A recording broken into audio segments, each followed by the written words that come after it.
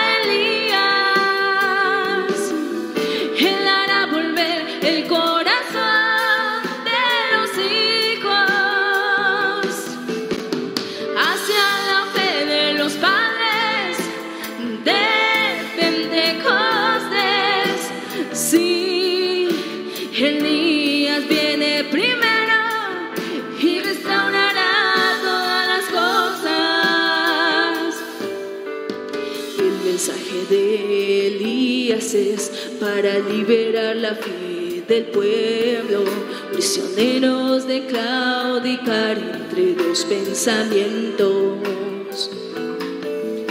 sacando de escena el nicolaísmo y balamismo, y después de la gran sequía por causa de Acab y Jezabel, traer de eso lluvia temprana, lluvia tardía.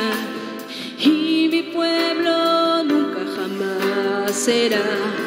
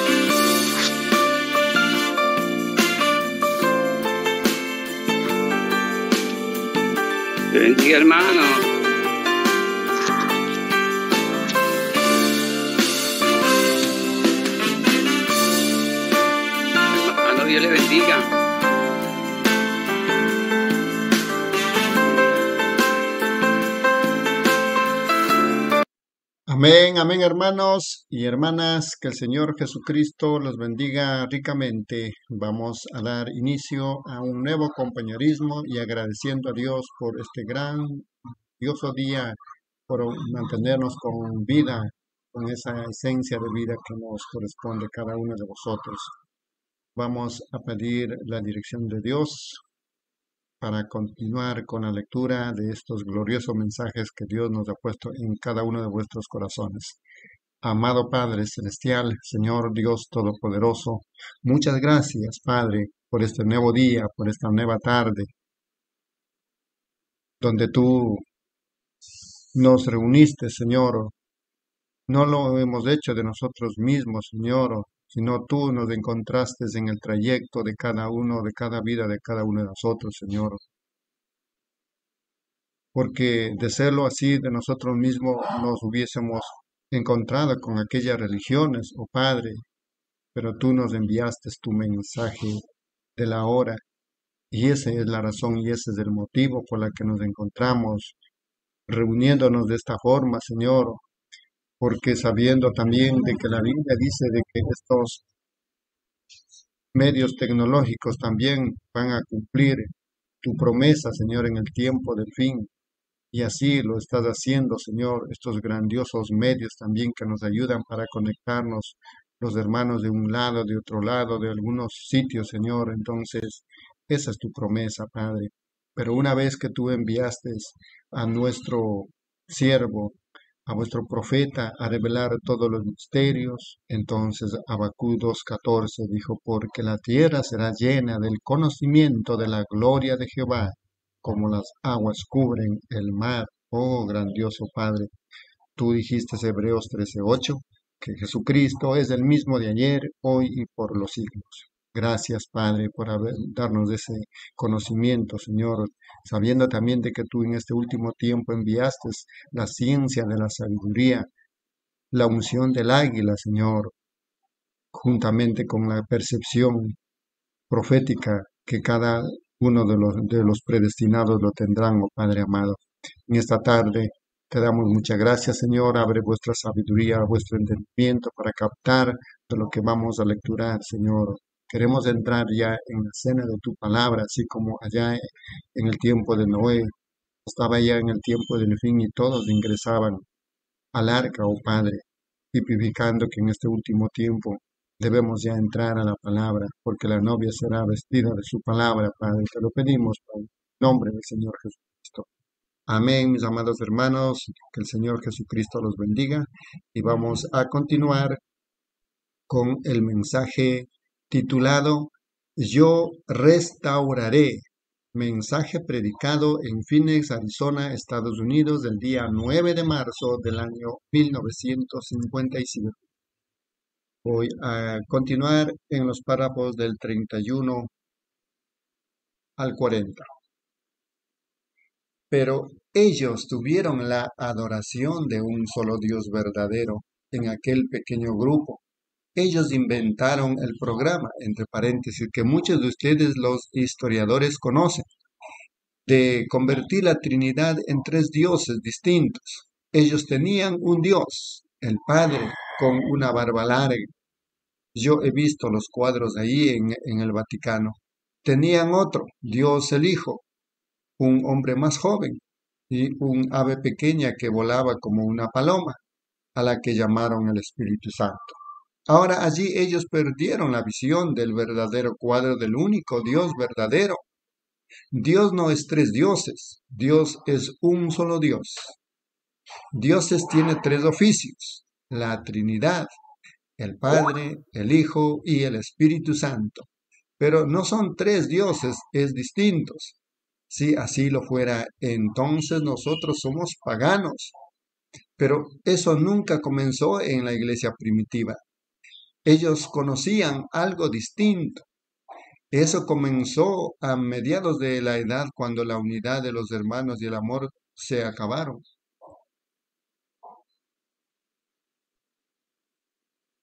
Párrafo 32. Ahora, desde luego que nosotros hoy creemos que hay tres, el Padre, el Hijo y el Espíritu Santo, que son las tres personas del único Dios verdadero. Son tres oficios, no tres dioses. Pero ese mismo, presten atención ahora, nosotros creemos que aquello fue ridículo en la Iglesia Católica, pero aquí en Pentecostés entramos en eso mismo y los ha hecho pedazos. Establecieron otra organización, dieron inicio a otra cosa. En vez de venir como hermanos con amor fraternal y con unidad, el primero comenzó a ver el, que las tres personas de la deidad estaban en una persona, Cristo Jesús, que Él era la manifestación de Dios en carne y no otro hombre. Y luego ustedes se establecieron y adoptaron esa idea dogmática de la así llamada unidad. Entonces ustedes comenzaron con eso, hicieron énfasis allí e hicieron de Dios uno como el dedo de su mano. Uno, y ustedes saben que eso está errado. Ustedes los eruditos saben que eso no es así. Pero ¿por qué sucedió eso? Fue porque la oruga comenzó a comer primero, en vez de sentarse a razonar juntos. Cuando yo llegué a los distintos grupos pentecostales, ellos pusieron una mesa más grande que esa, con sus líderes allí, diciendo, si ustedes va con este, no puede ir con este. Si predica para ellos, no puede predicar para mí. Yo les dije, somos hermanos, absolutamente. Párrafo 33. Y si el grupo de la unidad no se hubieran salido a un lado y reñido por eso, y si hubieran permanecido con sus hermanos y hubieran dejado que el Espíritu Santo los ungiera, esa cosa nunca habría separado y roto la hermandad como lo hizo. Pero, ¿qué ocurrió? Las langostas comenzaron a volar y se separaron la hermandad. Ustedes tenían que tener una pequeña unidad propia. La unidad no es algo aislado, hermanos. La unidad es para todo el cuerpo de Cristo. Eso comenzó en los días primitivos Pablo dijo, cuando vengo a vosotros, uno tiene esto y otro tiene aquello. Uno dice, yo soy de Cefas, yo soy de Pablo. ¿Acaso fue Cefas crucificado? ¿Fueron bautizados ustedes en el nombre de Pablo? Sí, esa cosa ya había comenzado y estaba royendo la iglesia. Párrafo 34. Pero lo que tuvieron en el principio fue la unidad del único Dios verdadero.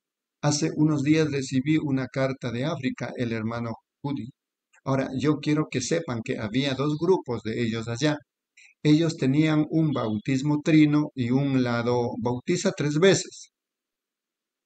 Una parte el Padre, una por el Hijo y una por el Espíritu Santo, sumergiéndoles, haciendo hacia adelante. Porque dicen, Jesús, cuando Él murió, nosotros somos bautizados en su muerte, y Él cayó con el rostro hacia adelante. El otro dice, eso es absurdo. Cuando Jesús murió, a un hombre le sepultaban de espaldas, así que ellos lo bautizan tres veces hacia atrás. Una por el Padre, una por el Hijo y una por el Espíritu Santo. Y ellos se dividieron. Por Dios, hermanos, es que ustedes no pueden ver, no entienden que sea una visión para ustedes. ¿Qué importa eso? Cuando hemos perdido nuestro sentimiento de hermandad, estamos en una condición terrible, ¿no entienden? Pero estas cositas aparecen, luego alguien los toma y dice, formaremos una unidad. Eso no es unidad, esos son puros celos mezquinos. ¿Entienden lo que quiero decir? Nosotros necesitamos una verdadera unidad cristiana y apostólica. Sí, Señor. Párrafo 35. Pablo dijo, algunos predican por una cosa y otros predican por ganancia. ¿Y qué importa eso con tal que Cristo sea predicado? Él tenía derecho de exclamar y decir, yo sé que después de mi partida entrarán en medio de vosotros lobos rapaces, que y algunos de entre ustedes se levantarán con cosas perversas y demás. Pero Juan, tratando de resumirlo todo, dijo, oh, mantengan a Cristo, la unidad de Cristo, el amor de Dios en nuestros corazones. Hijitos, amados los unos a los otros. Párrafo 36. Y oh, creo que nosotros tenemos que pasar por estas cosas antes de que podamos captar realmente el verdadero significado de ellas. Juan, quien fue el que quería hacer descender fuego del cielo y quemar a Samaria aquel día, porque no le dieron algo de comer. Él mismo se convirtió en el propio canal del amor. Hermanos, yo me pregunto si algún día, con todas nuestras diferencias, cuando realmente captemos la visión que Dios está tratando de poner delante de nosotros, si eso no nos derribará a los pies del otro. Párrafo 37. Otra cosa que ellos tenían en aquel día era una enseñanza bíblica muy sobresaliente. Esa fue una de las cosas que tenían, la cual la oruga y el revoltón. Y se dieron cuenta que es el mismo insecto todo el tiempo. Ahora, este viejo demonio del pulgón ha entrado y se mete dentro de la piel también. Ustedes saben, los carcome. Una vez que encuentran una cosita, ya no importa lo que otro trate de decir se aferran a eso y aíslan su pequeño grupo en algo. Pero esto es, hermano, no es, esto es, esto es aquello. Esa es la cosa. Un compañerismo, una verdadera enseñanza bíblica, no andando tras una cosa u otra. Nosotros tenemos hermanos genuinos, ellos con el Espíritu Santo. Si yo le dijera mi mensaje perdón, si yo le dirigiera mi mensaje a uno de ellos, yo sería un hipócrita. Yo no hablo en contra de la iglesia bautista porque dice esto o que la metodista dice aquello, o que este hace esto y este hace aquello. Yo no estoy predicando contra los hombres. Yo estoy predicando contra ese demonio del pulgón que está tratando de apoderarse del género humano. Y nosotros lo vemos. Nosotros, Traje esto de manera que pudiéramos presentarlo delante de estos hermanos para que pudiéramos darnos cuenta que ya se había predicado, predicho, perdón, que estos destructores vendrían y devolverían la vida. Párrafo 38. Ahora nosotros sabemos que el Espíritu Santo está aquí. Sabemos que el Espíritu Santo es vida. Pero hermanos, ¿se dan cuenta ustedes que solo está trabajando en un tronco seco? ¿Han pensado en eso? ¿Se da cuenta usted que esa es una parte, mi amigo? El espíritu solo está trabajando en un tronco seco. La Biblia dice que sería un tronco seco. ¿Qué es eso? Tenemos un cuerpo desunido. Tenemos el amor permeable, esparcido de lado a lado, muy profundo en el corazón de cada hombre nacido de nuevo en esta mañana. En sus corazones hechos quieren abrazarse unos a otros. Ellos quieren hacerlo. Hay muchos predicadores aquí en Phoenix que pertenecen a iglesias de distintas denominaciones, a las que les encantaría venir aquí esta mañana y tomar a los de la unidad, a los de la dualidad y a los de la Trinidad y olvidar sus diferencias. Y Cristo está en sus corazones. Pero ¿qué es lo que sucede? ¿Qué los obtiene? ¿Qué los detiene? Su organización. Si ellos son sorprendidos de estando en ese grupo, serán excomulgados. Esa es una unidad falsa. Así lo dice la Biblia. Eso es correcto. Dios nunca organizó a su iglesia. Ahora, no esté en contra de eso. Dios dijo que tenía que suceder, pero el asunto es que seamos hermanos entre todos nosotros. Párrafo 39.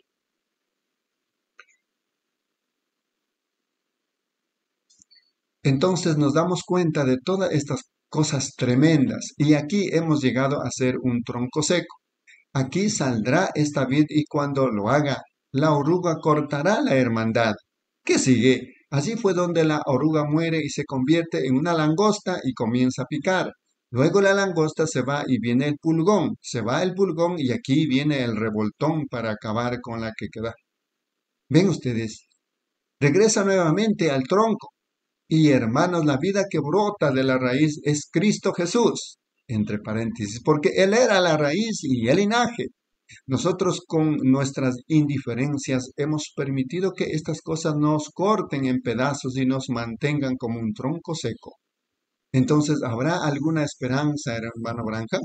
Bendito sea Dios, yo restituiré, dice el Señor, todos los años, las bendiciones que el pulgón, el revoltón, la oruga y todo lo que ha sido devorado.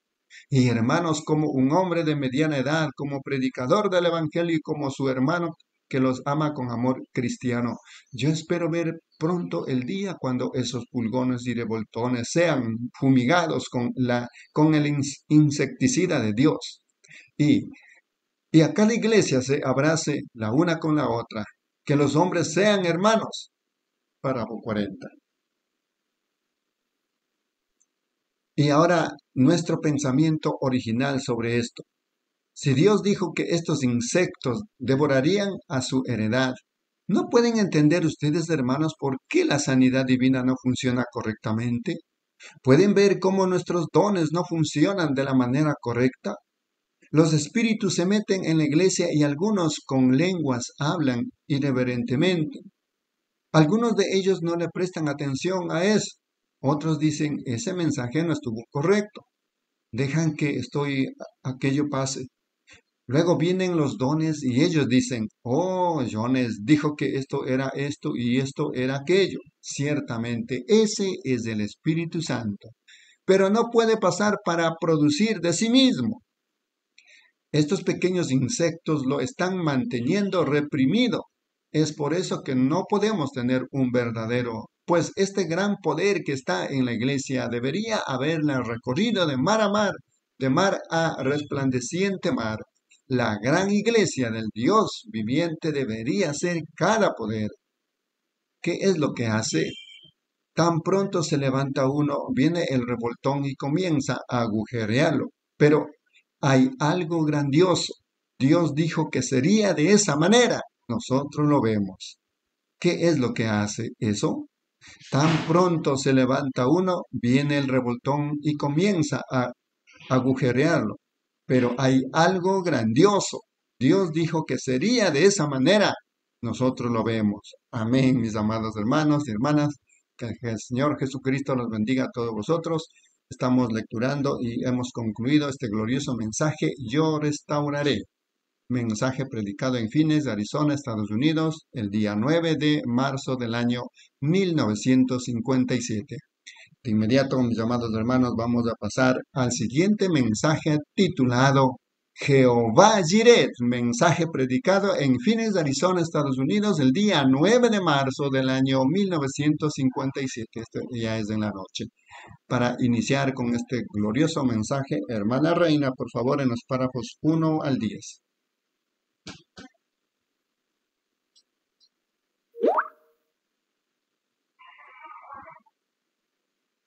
Amén. Dios le bendiga, hermanos y hermanas, iniciando con el mensaje Jehová Jiret, predicado el 9 de marzo del año 1957. Párrafo 1. Nuestro bondadoso Padre Celestial, queremos agradecerte desde las profundidades de nuestro corazón por lo que has hecho por nosotros somos indignos de las bendiciones que nos has otorgado, pero estamos agradecidos por ellas. Y ahora rogamos que nos sonrían tus bendiciones continuamente sobre nosotros y especialmente esta noche, mientras acabamos de recordar que esta noche es la noche en que vamos a orar por las grandes multitudes. Danos una gran fe que grandes maravillas sean hechas para la gloria de Dios. Lo pedimos en el nombre de Jesús. Amén. Siéntense. Acabo de recordar que esta noche es la noche en que vamos a orar por las personas. Y él olvidó decirme que iba a venir a repartir tarjetas de oración para todas aquellas personas quienes quisieran pasar por la línea y me olvidé al respecto hasta que llegué aquí a la plataforma de que íbamos a hacer eso. Y no había venido a mi memoria más bien desde que venía del lugar. Así que pensé que entonces cambiaría mi texto y hablar de algo más. De que yo iba a hablar sobre algo, pero lo cambiaré ahora. Párrafo 2. Y queremos agradecerles a todos ustedes, ministros, por esta mañana, asistentes al desayuno. Acabamos de tener un verdadero jubileo esta mañana. El Señor bendijo en una manera maravillosa, en un maravilloso compañerismo que tuvimos con los hijos de Dios esta mañana. Y ahora esta noche creo que los muchachos de las grabaciones, esta será la última noche para los libros y las fotos. Ellos estarán en el puesto de venta, donde sea que está. No vendemos el domingo, nunca lo, lo he hecho y yo los libros y esas cosas no son algo de lo que ganemos algo.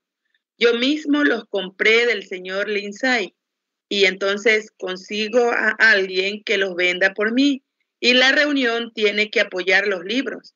Ahora, si yo los imprimiera por mí mismo y los vendiera o pudiera imprimirlos bien barato y venderlos, pero no es, esa no es la idea.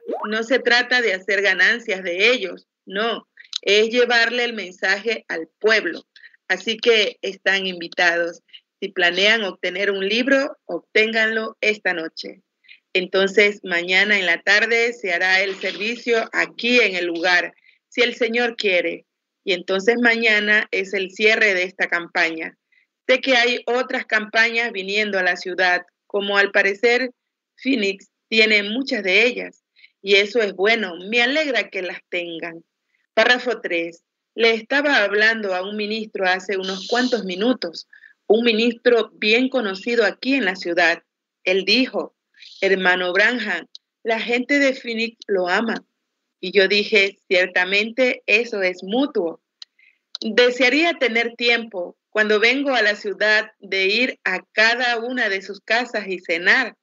Yo sé que tienen buena cocina y me gustaría hacerlo de veras pero parece que en estas reuniones solo he tenido que pararme constantemente en el campo hasta que me fatigo y no me puedo ir. Estaba tratando de hacer que el hermano Moore predicara por mí. Dijo, le digo, si usted predica y se desmaya en la plataforma, entonces traemos a un doctor y él dice la razón de, de por qué usted está en mal condición. Dijo, lo intentaré la próxima. Yo dije, ahora hermano Murray, pero estamos felices de estar reunidos con ustedes esta noche. Párrafo 4. Y ahora, incluso en nuestro día en el que vivimos, y esta mañana estuve hablando en el desayuno sobre el tema de Joel, donde él vio los gusanos, insectos diferentes, comerse el árbol, la heredad de Dios e intentamos de nombrar cuáles eran esos gusanos y cómo cada uno de esos gusanos es el mismo gusano, solo muere y regresa como un insecto diferente.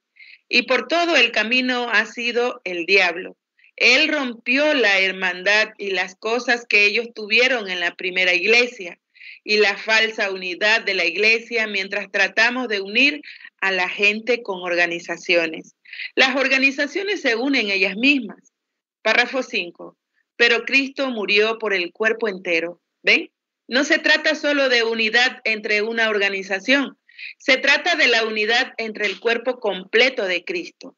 Y aquellos viejos gusanos solo cada vez que este arbolito que había sido cortado y se halla allí solo como un tronco, y cada vez que alguna vida comienza, lo primero que saben construimos una pequeña organización alrededor de eso y los gusanos llegan a ella y se la comen. Yo dije, uno de estos días Dios va a traer algún insecticida y va a rociar a, a estos gusanos. Ellos dejarán de comer desde ahí en adelante. Amén. Cuando un hombre puede estar aislado de esas cosas por el amor de Dios y el Espíritu Santo, eso nunca lo tocará.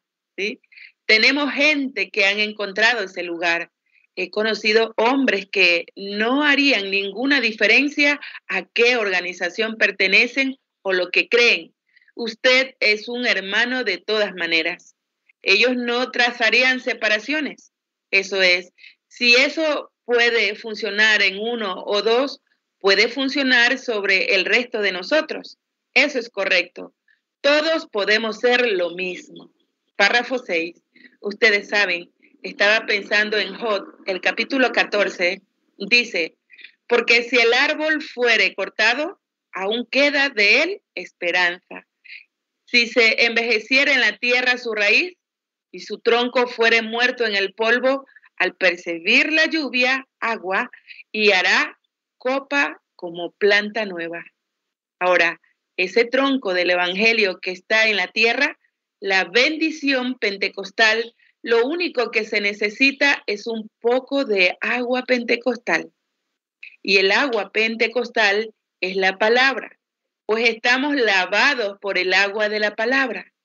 Y solo un poco del Evangelio del Espíritu Santo chapado a la antigua pondrá esa cosa de nuevo en su lugar y lo producirá de nuevo. Amén. Eso es correcto. Párrafo 7.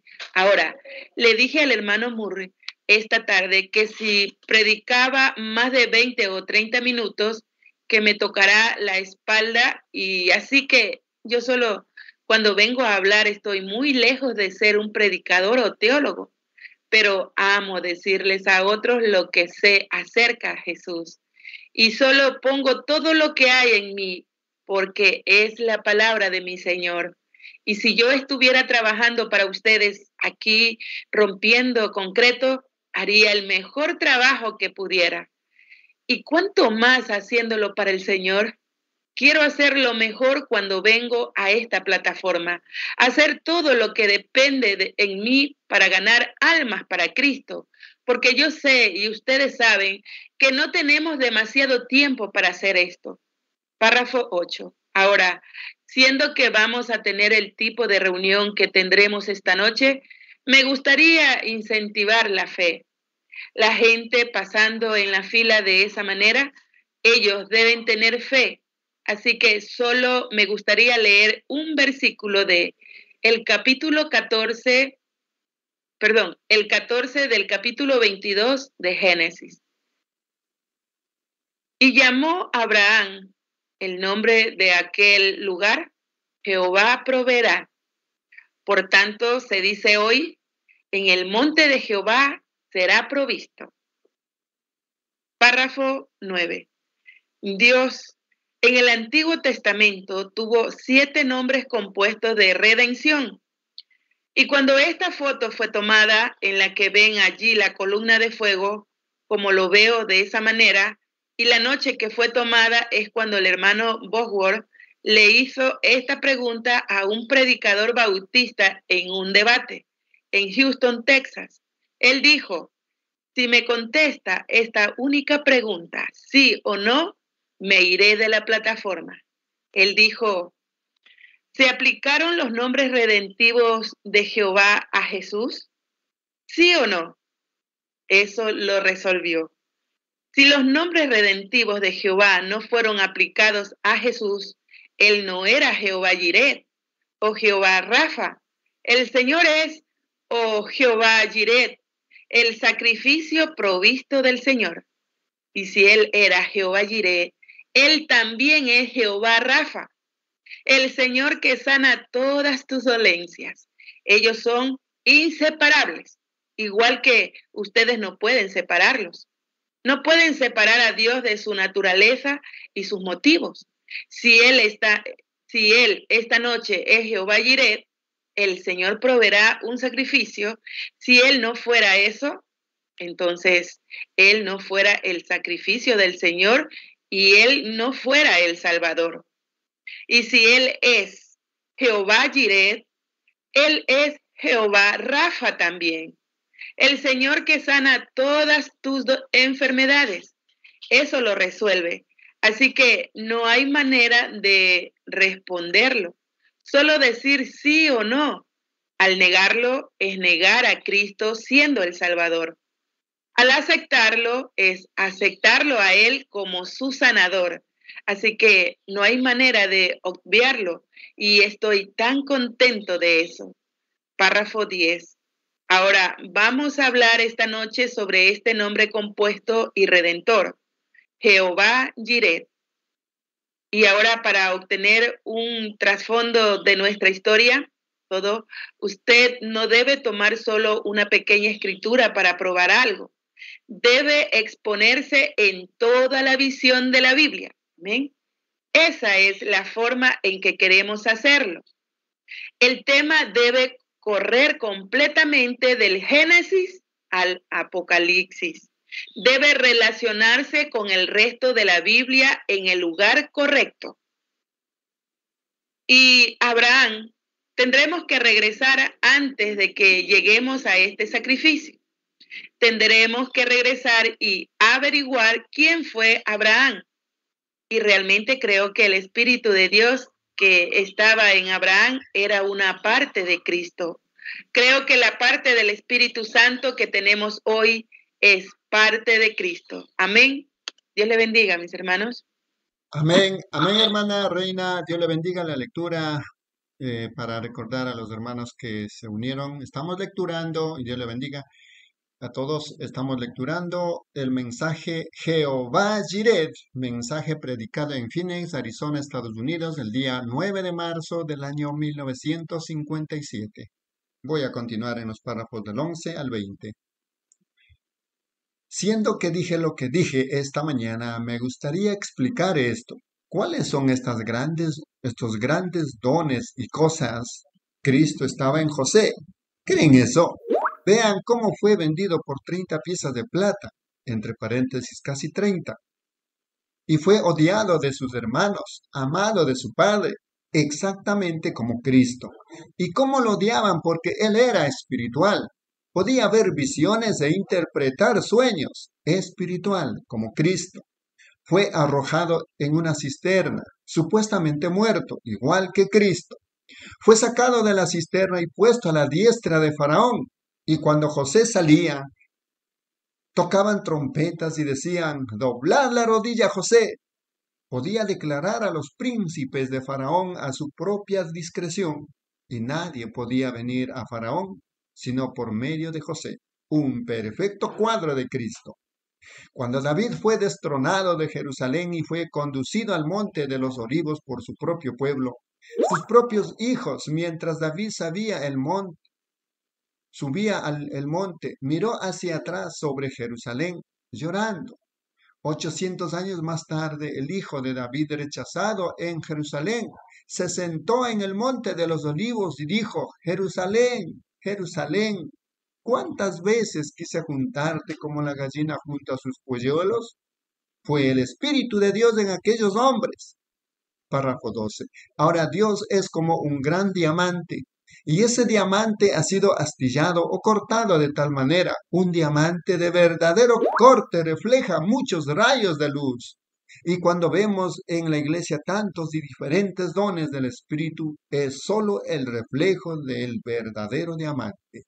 Y uno puede parecer un poco peculiar al otro, pero es la forma en que el diamante refleja la luz. Así que Dios hace eso también en la forma en que Él refleja un don de la Biblia. Uno tiene el don del conocimiento, el otro tiene el don de las lenguas y otro tiene el don de otra cosa. Es Dios reflejando estas luces y son luces que se juntan en una sola persona. Ese es Dios Todopoderoso. Ahora, Abraham era una parte de Dios. Jesús dijo cuando Él estaba aquí en la tierra, ¿no está escrito en vuestras leyes que dioses sois? Y si ellos llaman a esos dioses, ¿a quiénes la palabra de Dios vino? ¿Qué hay de Él siendo Dios? Eran dioses por medida él era la plenitud de Dios. Dios estaba en él, reconciliando el mundo con él mismo. Párrafo 13. Ahora Abraham, vamos a echarle un vistazo a su vida. ¿Quién era él? ¿De dónde vino? ¿Era un niño de nacimiento especial? ¿Un séptimo hijo del séptimo hijo? No, señor, era un hombre ordinario. Él vino de su padre allá en Babilonia y tal vez fue criado en medio de idolatría. Pero Dios escogió a Abraham por elección, no porque fuera un hombre bueno, sino porque Dios eligió a Abraham. Y esa es la única manera en que alguna vez usted vendrá a Dios. Es la elección de Dios. Dios escoge. Usted no tiene nada que ver con eso. No hay hombre que haya buscado a Dios en ningún momento. Ustedes no pueden buscar a Dios. Es Dios buscándolo a ustedes. Es algo en usted que crea ese deseo y esa es la razón por la que hay sanidad divina. Si la Biblia ni siquiera lo dijera, es ese algo creativo en los hijos de Dios, esa búsqueda, búsqueda de la fuente que está abierta. Pero lo extraño cuando llegan a la fuente como los discípulos aquella noche quienes estaban orando por ayuda y la misma ayuda que vino a ellos, ellos tenían miedo de ella. Párrafo 14. Ahora observen lo que Dios hizo. Ahora, Abraham en la Biblia representa elección, Isaac, justificación, Jacob, gracia. José, perfección. Entonces se acaba. Perfección. José era un hombre perfecto. No hay nada en su contra en la Biblia. Pero en esta elección Dios escogió a Abraham, no porque fuera un hombre educado, no porque fuera un hombre inteligente, sino porque Dios vio algo, sino porque Dios vio algo en Abraham antes de la fundación del mundo. Y esa es la razón por la que ustedes son cristianos esta noche. Es porque Dios vio algo en ustedes antes de la fundación del mundo y puso su nombre en el libro de la vida del Cordero antes de que el mundo se formara alguna vez. ¿Cómo se van a perder? ¿Cómo pueden hacerlo? La Biblia dice, la mayor falta que puedo encontrar en cualquiera de las iglesias y especialmente la verdadera iglesia que es nacida de nuevo es que ellos no saben quiénes son. No se dan cuenta de cuál es el privilegio que Dios les ha dado. Ustedes están buscando algo lejos en una clase de milenio, pero eso es a lo que el diablo los va, los ha volcado. Somos hijos de Dios ahora. No lo seremos, lo somos ahora y toda bendición redentora por la que el Señor Jesús murió es nuestra propiedad personal ahora mismo. Todo por lo que Él murió. No, seremos, somos ahora, párrafo 15. Ahora, veamos a Abraham y veamos qué promesa Dios dio a Abraham. Dios le dio a Abraham la promesa e hizo el pacto con él incondicionalmente. No, si haces esto, si lo haces, no tenía nada que ver con eso. Dios le dijo, ya te he salvado y vas a venir a mí en la vejez. Eso lo arregla. Cuando el hombre hace pacto con Dios, el hombre rompe su pacto. Cuando el hombre y Dios tuvieron un pacto juntos en el huerto de Edén, el hombre rompió su pacto. Luego hizo un pacto con él por medio de la ley, que el hombre ni siquiera lo guardaría.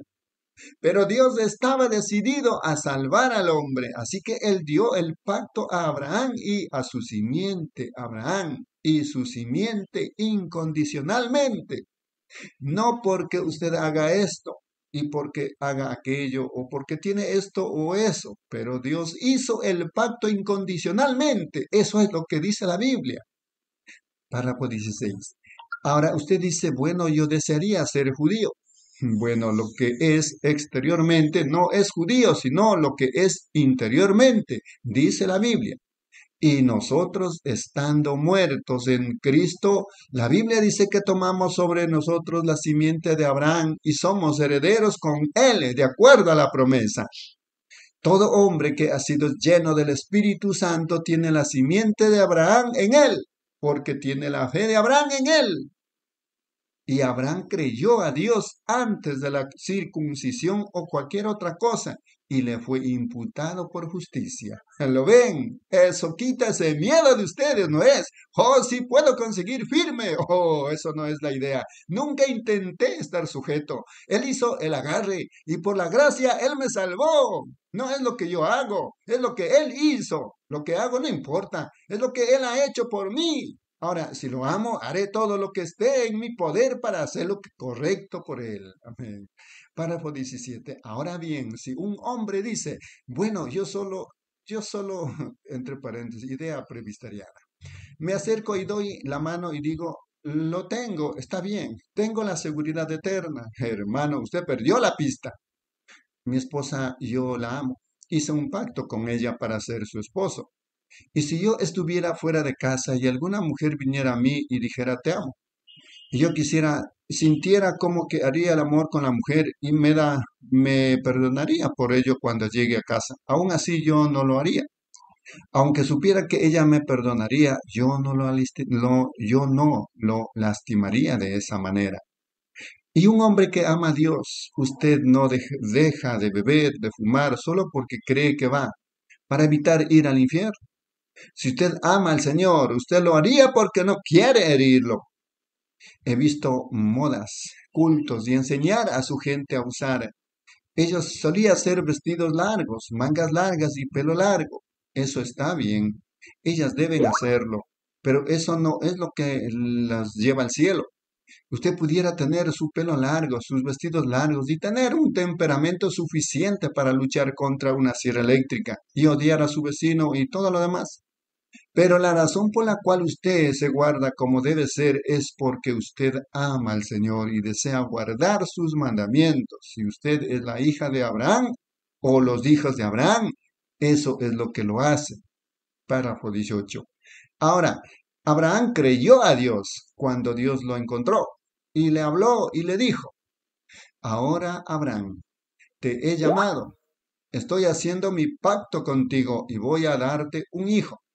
Ahora, Abraham tenía 75 años y Sara tenía 65 años y se casó con ella cuando era solo una niñita, porque era su media hermana. Ahora, había vivido juntos desde que eran pequeños. Había sido esposo y esposa durante todos los días saludables de Sara. Ella tenía 65 años de edad, unos 25 años o más pasada la menopausia, y era imposible para ella tener ese bebé. Pero aún así Dios le pidió a Abraham que creyera lo imposible. Y Él le pide a usted, la simiente de Abraham, que cree lo imposible porque su palabra es una cosa creativa. Párrafo 19. Abraham solo se aferró a la palabra de Dios. Él creyó a Dios. Eso era todo lo que tenía que hacer. Ahora, él no miró lo imposible que era. Él solo lo aceptó y tomó a Dios en su palabra y fue regocijándose sobre ella. Dios amaba eso.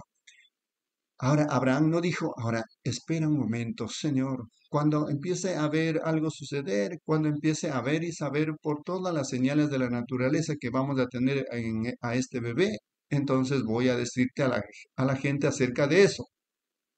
Pero no puedes esperar que vaya a decirle al médico y tener todo listo. Vamos a tener un bebé. Él se reiría de mí. Tengo 75 años y ella tiene 65 años. Párrafo 20 por último.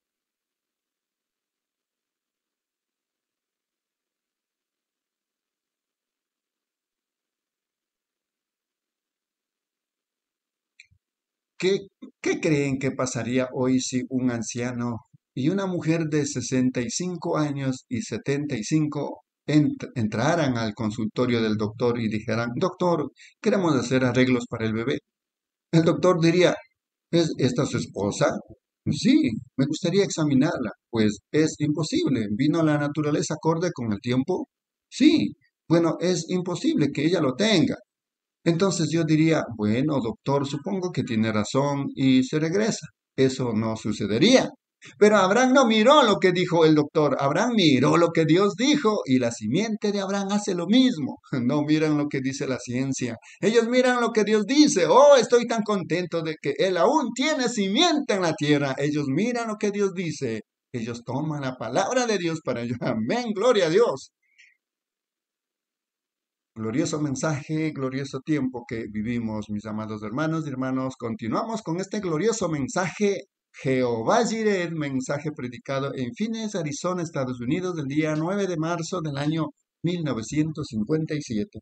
Para continuar con la lectura, hermana Narcisa, Dios le bendiga en los párrafos 21 al 30.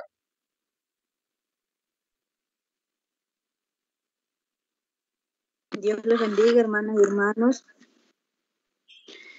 Continuamos con el mensaje Jehová Jireh, predicado el 9 de marzo de 1957. Párrafo 21. Ahora, ¿pudieron imaginar a Sara yendo a la, tienda más fina que pudo encontrar? Una anciana de 65 años con un chal de abuela sobre la cabeza y yendo a la, yendo a la tienda a comprar las frazadas y alfileres y todo preparándose. ¿Se imaginan lo que diría la gente? Esa anciana está fuera de sí. Pero ¿saben por qué? Ella tenía la palabra de Dios para ello. Pudieron imaginarse a Abraham yendo a todos lados para testificar a todos. Gloria a Dios, vamos a tener un bebé. Imagino ver a un hombre decir, pobre anciano, ven, miren, cada vez que alguien toma a Dios en su palabra es considerado un fanático y Dios les pide que crean lo imposible, porque Él es capaz de hacer lo que es imposible. Abraham no dudó por incredulidad de la promesa de Dios, sino que se fortaleció, dando gloria a Dios. Dios quiere que hagan los milagros. Dios quiere que hagan lo milagroso.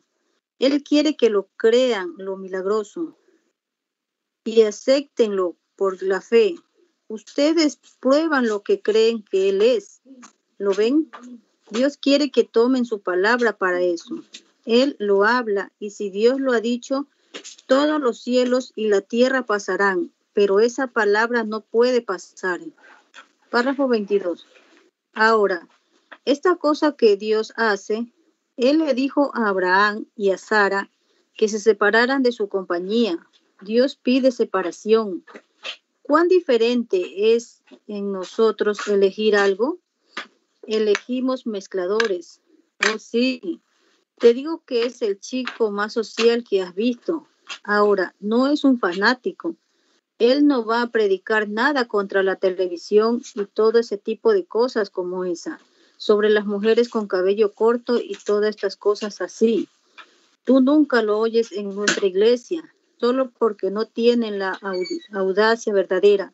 Él no tiene el bautismo del Espíritu Santo para respaldarlo. Eso es todo. Lo que necesitamos son predicadores temerosos de Dios, que digan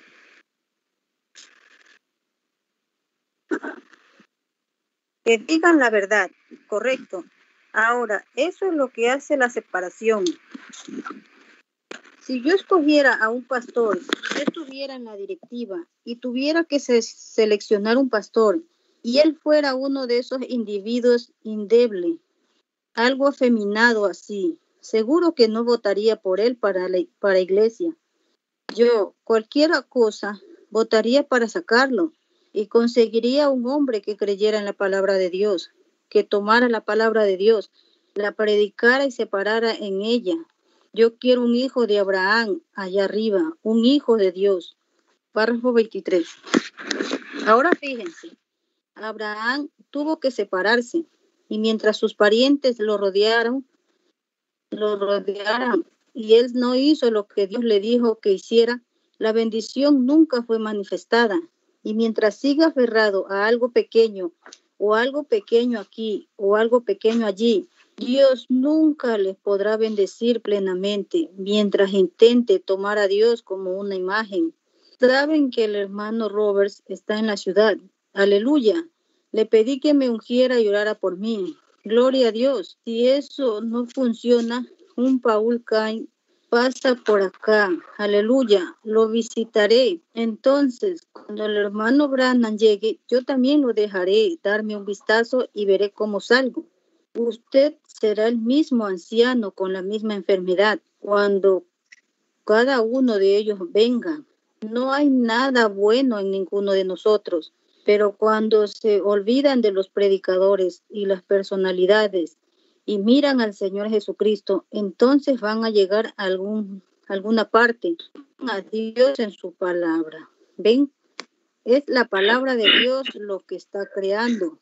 La palabra de Dios es una semilla y una semilla sembrada y cuidada, si está germinada y una buena semilla, llevará la clase de fruto que es. Por lo tanto, si necesita sanidad, pídasela. Aquí hay una promesa y cada promesa es suya. Párrafo 24. Ahora, hallamos entonces un poco más tarde, cuando él empezó a moverse, entonces allí llegó un tiempo de separación, que tuvo que separarse de sus parientes. Su padre murió mientras el anciano estaba con él. él nunca lo bendijo. Pero después que todo fue separado, Dios se le, se le apareció. Lot también había tomado su decisión y descendió a Sodoma, siempre y cuando Lot estuviera cerca, su discutir. Y mientras sigan con los incrédulos, encontrarán el mismo problema. Pero cuando Abraham tenía 99, 99 se hizo, eh, hizo, eso hizo a Sara de 88. ¿Podrían imaginar a Abraham? Podrían imaginarse cuando Abraham fue y le dijo a Sara, su esposa, diciendo, cariño, sabes que siempre hemos deseado tener hijos. Oh sí, Abraham. Bueno, bendito sea Dios, vamos a tener un bebé. Observen a Sara decir, Abraham, yo no entiendo. Yo tampoco. Bueno, ¿cómo sabes que vamos a tener un bebé? Dios lo dijo, eso lo resuelve. Dios lo dijo, Él lo va a hacer. Párrafo 25. Bueno, después de los primeros días, pues tal vez el primer mes, pues él viene a Sara y le dice, Sara, ¿cómo te sientes, cariño? Ni un poco diferente, Abraham. ¿Estás seguro? Él dijo, Gloria a Dios, lo vamos a tener de todos modos, seguro. ¿Cómo lo sabes, Abraham? Dios lo dijo. El segundo mes pasó. Sara, ¿cómo te sientes? ¿Está sucediendo algo? Ni un poquito. Gloria a Dios, lo vamos a tener de todos modos. ¿Cómo lo sabes? Dios lo dijo. El primer año pasó. Sara, ¿todavía tienes todos los pañales y las cosas listas? Sí. ¿Te has sentido diferente? Ni un poquito. Pero aleluya, vamos a tener de todos modos. Dios lo dijo, mantengan mis pensamientos en ello. Ellos estarán bien. ¿Ven? Muy bien. Cuando pasaron 25 años, pasaron 25 años. Sara, ¿cómo te sientes? No, no diferente. Gloria a Dios. Lo vamos a tener de todos modos. Ahí lo tienen. Él no miraba las circunstancias. Él miró lo que Dios decía. Estaba mirando la palabra. Párrafo 26. Aquí hace algún tiempo fui a orar por un niño que tenía dicteria en la garganta y se asfixiaba hasta la muerte. El anciano y querido papá llegó con la madre. Ungí ese muchacho. Al principio no me dejaban entrar y el médico allí, el médico jefe fue. Me enteré que era católico y yo le dije, bueno, ¿usted estaría en, usted dejaría entrar al sacerdote? Él dijo, eso es diferente. Usted es un hombre casado y tiene hijos. Le dije, yo valgo tanto para el muchacho como el sacerdote significaría para un chico católico. Le dije, el padre aquí me ha enviado para que venga a orar por el niño. Dijo, pero usted tiene hijos, reverendo.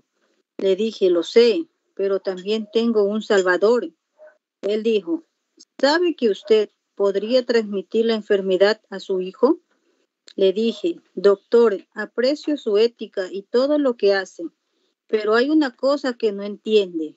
Dije, mi Dios puede protegerme de eso, lo ha hecho muchas veces, pasando por lepra y todo lo demás. Yo tomo su palabra para eso. Párrafo 27. Y cuando entramos, me sentí como un Ku Klux Klan.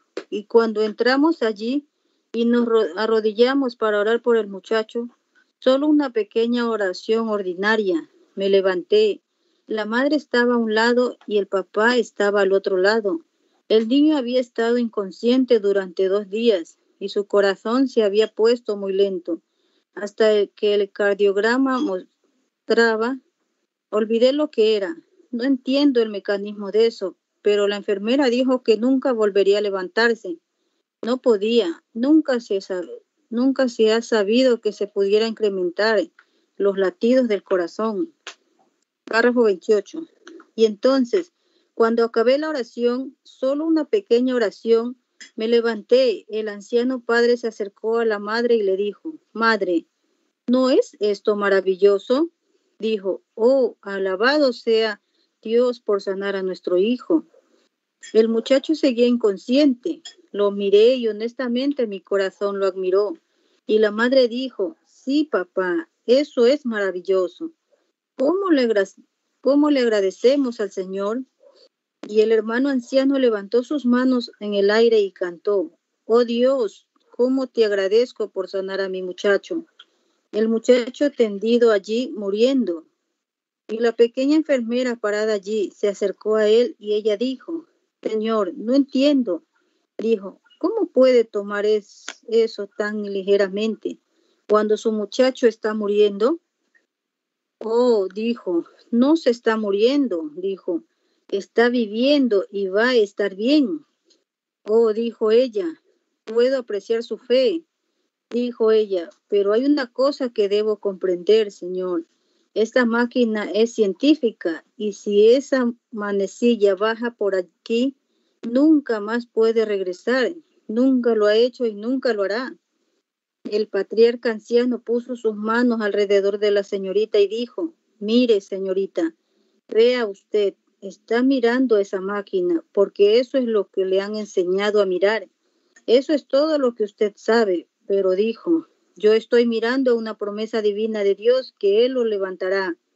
El muchacho está casado ahora y tiene una familia. Párrafo 29. ¿Qué? Depende de lo que miren. Si Dios hizo la promesa, Dios está obligado a cumplir esa promesa, sin importar la circunstancia. Párrafo 30.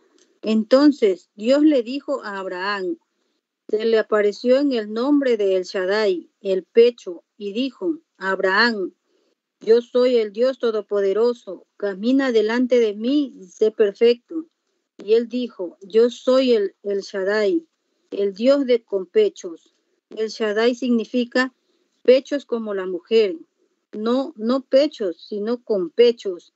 Yo soy el Dios con pechos. Yo soy el dador de fuerzas. Como un pequeño bebé cuando está enfermo y se aflige, llorando, pateando, gritando, y la madre lo toma y ella lo apoya en su pecho y empieza a nutrirse de la fuerza de la madre. Y cuando el pequeño empieza a nutrirse, el primer pequeño sabor a fuerza, él deja de llorar y, y, mamá solo lo acaricia un poco y él está satisfecho mientras él se está nutriendo.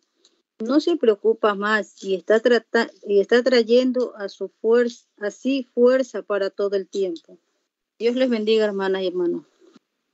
Amén, hermana Narcisa. Dios le bendiga la lectura, glorioso mensaje, glorioso tiempo. Continuamos con la lectura de este mensaje. Jehová Jireh, hermana Sara, Dios le bendiga. Párrafo 31.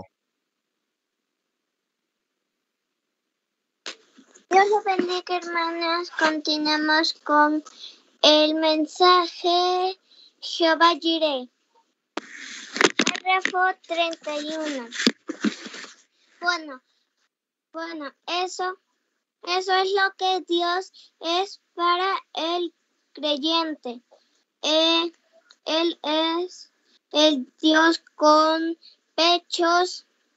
Él fue herido por nuestros, por nuestras transgresiones. Por su, ya, por su llaga fuimos nosotros curados y el creyente se apoya, a, apoya en el pecho de Dios, de la palabra de Dios, del nuevo, del nuevo y del antiguo testamento y se aferra a esa promesa divina. Y, y se nutre y, y bendice a Dios y atrae a la, al creyente en una creencia de Dios hasta que el buen, el vuelve a nutrir su fuerza y está satisfecho todo el tiempo. Que, está amamantando. Oh, me gusta eso. Él no va a su en creció, en crecido, he crecido una pulgada hace, hace un momento no hace. ¿Acaso de si creció una pulgada o no? Solo se es- solo se está maman- amamantando. Ahí es donde está el creyente. Si se le explica por la Biblia que él sana a los enfermos, el cre- creyente solo toma su pala- palabra para eso y eso lo resuelve. Eso es todo. Él no vive, él no dice esto. Estoy mejor. Pu- Puedo, puedo mover mi dedo de, mi dedo un, mi dedo un poco más. Puedo gritar el, puedo girar el pie. Eso no tiene, eso no tiene nada que ver con eso. Para nada es, es lo que ha sucedido aquí. Eso no es lo que ha sucedido aquí. Es, es lo que ha sucedido aquí en el corazón. Dios le bendiga, hermanos.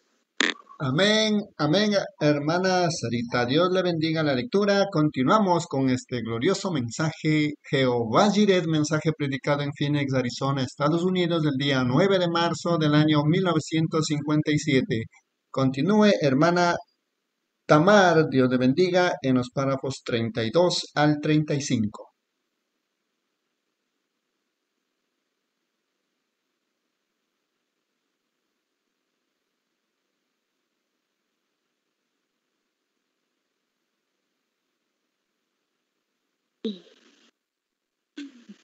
Dios le bendiga, hermanos y hermanas. Continuamos con el siguiente mensaje, Jehová Jireh. Del párrafo 32.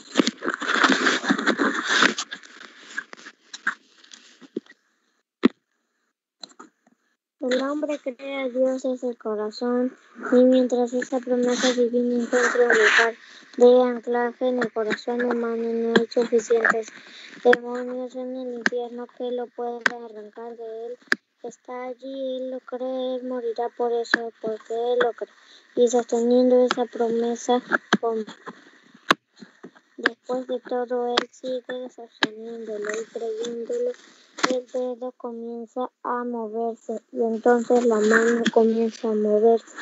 Vean, él está nutriéndose de la fuerza de Dios dentro de su propio cuerpo. Y entonces Dios le dijo a Abraham, él dijo, ahora que está separado de Lot, tomó la mala elección, todas las llanuras eran de riego. Allá en Sodoma las grandes ciudades se construyeron llenas de pescado y no se, se construyeron llenas de pecado y no es encontrar el lugar más hermoso que pudiera encontrar. Tomar el camino de la facilidad y no es una cosa extraña que a veces las personas que dicen que creen en Dios quieren tomar el camino del lujo quiere tomar en el camino donde no hay pruebas. Quiere tomar la salida más fácil. Quieren tomar el camino que no es perseguido. Quieren tomar el camino de la facilidad. Eso solo es un creyente tibio. Pero Abraham, el hombre de Dios, dio a Lot su elección y tomó lo que le daba. Oh, me encanta eso. Un verdadero creyente le dará su elección. De le está dispuesto a tomar lo que queda. No hay egoísmo en un creyente verdadero, no absoluto. Ahora noten de nuevo después de Lot se separó y tomó un lugar. Dios se apareció a Abraham.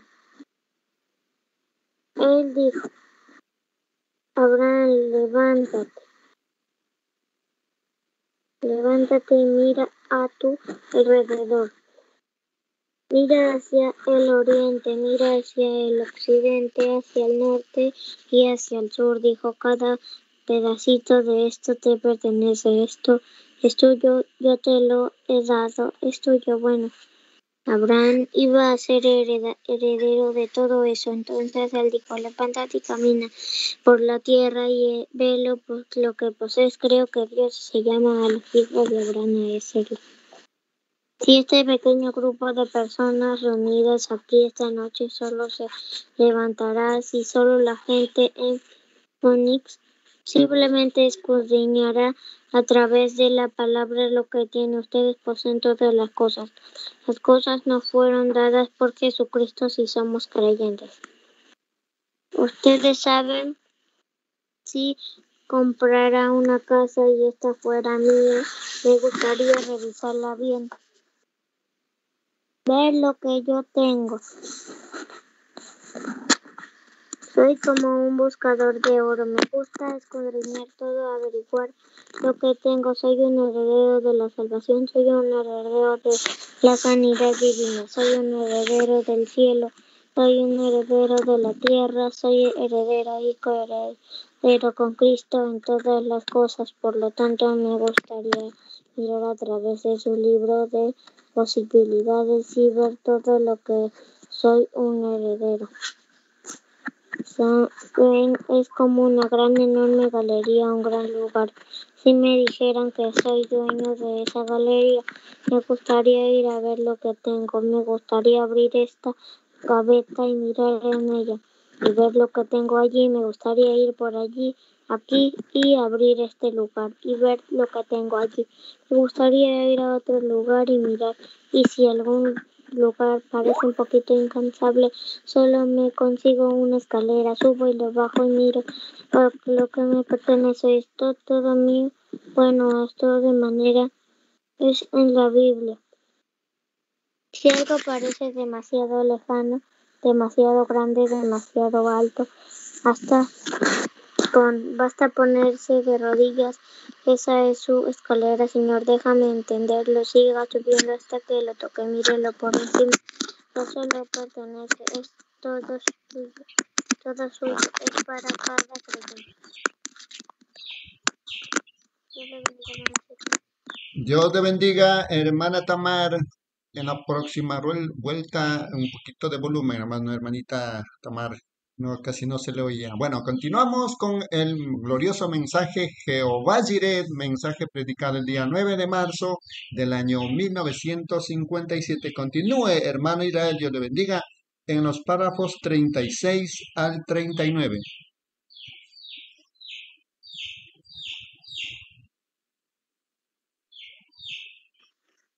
Dios le bendiga, hermano. ¿Me escucha?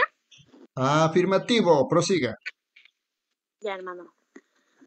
Continuamos con el mensaje Jehová Jireh del párrafo 36. Hace algún tiempo estaba hablando con un hombre llamado John. Spruill. Es un buen amigo mío. Él solía ir a, a través del país hace muchos años con el antiguo Glory Bar. O él Granero de la Gloria, iglesia fundada por Orban Freeman. No sé si alguna vez estuvo aquí o no, pasó por la costa este y muchos de ustedes, la gente del este, recordan a John Sproul. Y era uno de los convertidos del hermano Bosworth. Él fue sanado de una mala garganta donde tenía gas con él. Su- Succionó gas mostaza por su nariz o garganta y la quemó. Y él no tenía voz en absoluto y el hermano Bosworth oró por él, se curó, llama- llamó a su esposa y llamé y ella se desmayó y salió ungiendo a los enfermos y orando por ellos. Tomó unas pequeñas vacaciones y se fue a Francia. Salió a las calles, Lorena, Francia. Y él estaba pasando por un gran jardín.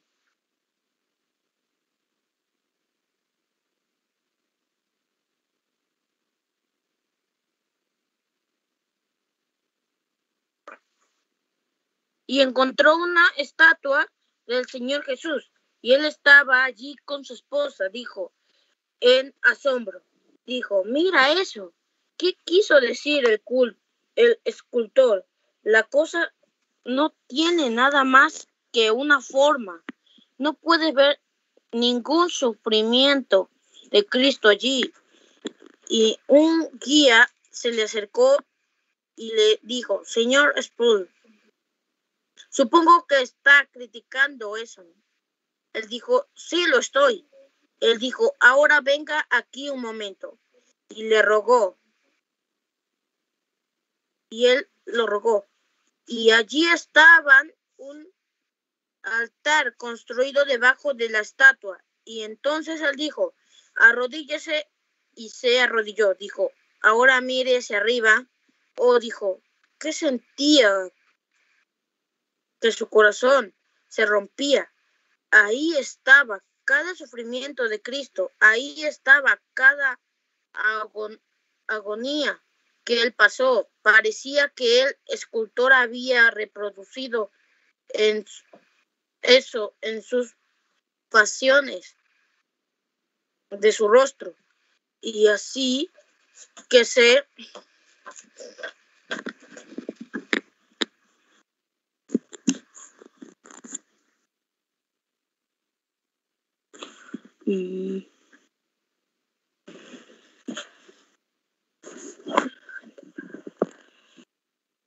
Y así que se volvió, miró otra vez al guía, el señor. Él dijo, señor Sproul, dijo, ya ve, al escultor tenía en mente una cosa, dijo, cuando hizo esta estatua, no lo hizo para que la gente se parara y la mirara. De esta manera, la hizo por, para que la gente se inclinara y mirara hacia arriba. De esta manera, y esa es la misma manera que es con cada promesa en la Biblia. No es para que usted intente mezclarlo con su sabiduría mundana, para que trate de descifrarlo. ¿Cómo pudiera Dios hacer eso? ¿Cómo pudiera Dios hacer eso? La Biblia dice, no fue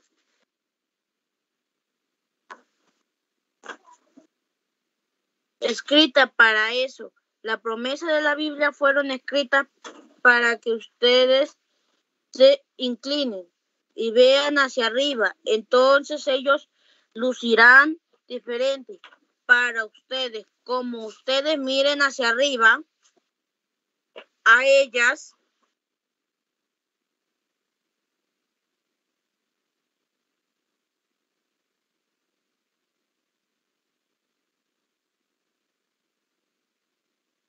vean hacia arriba, entonces ellas lucirán diferente para ustedes cuando ustedes miren hacia arriba ellas de esa manera.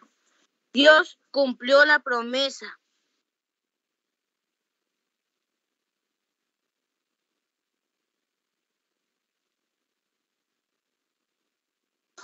Dios cumplió la promesa con Abraham.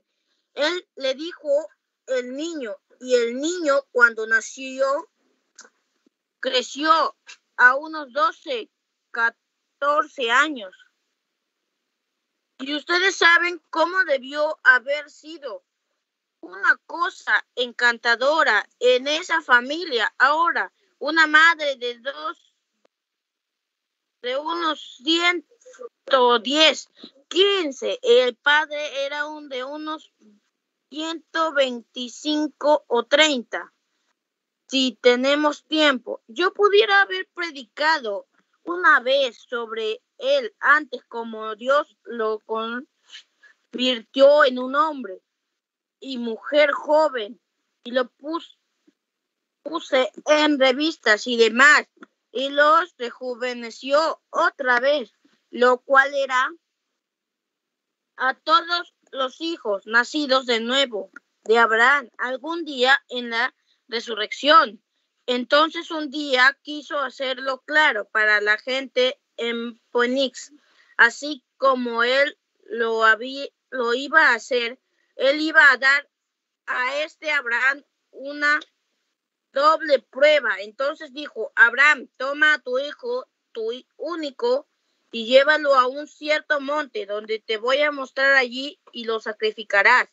Ahora bien, ¿qué pasaría si Abraham lo hubiera pensado dos veces? ¿Cómo voy a ser el padre de las naciones cuando aquí estoy tan viejo y tú me has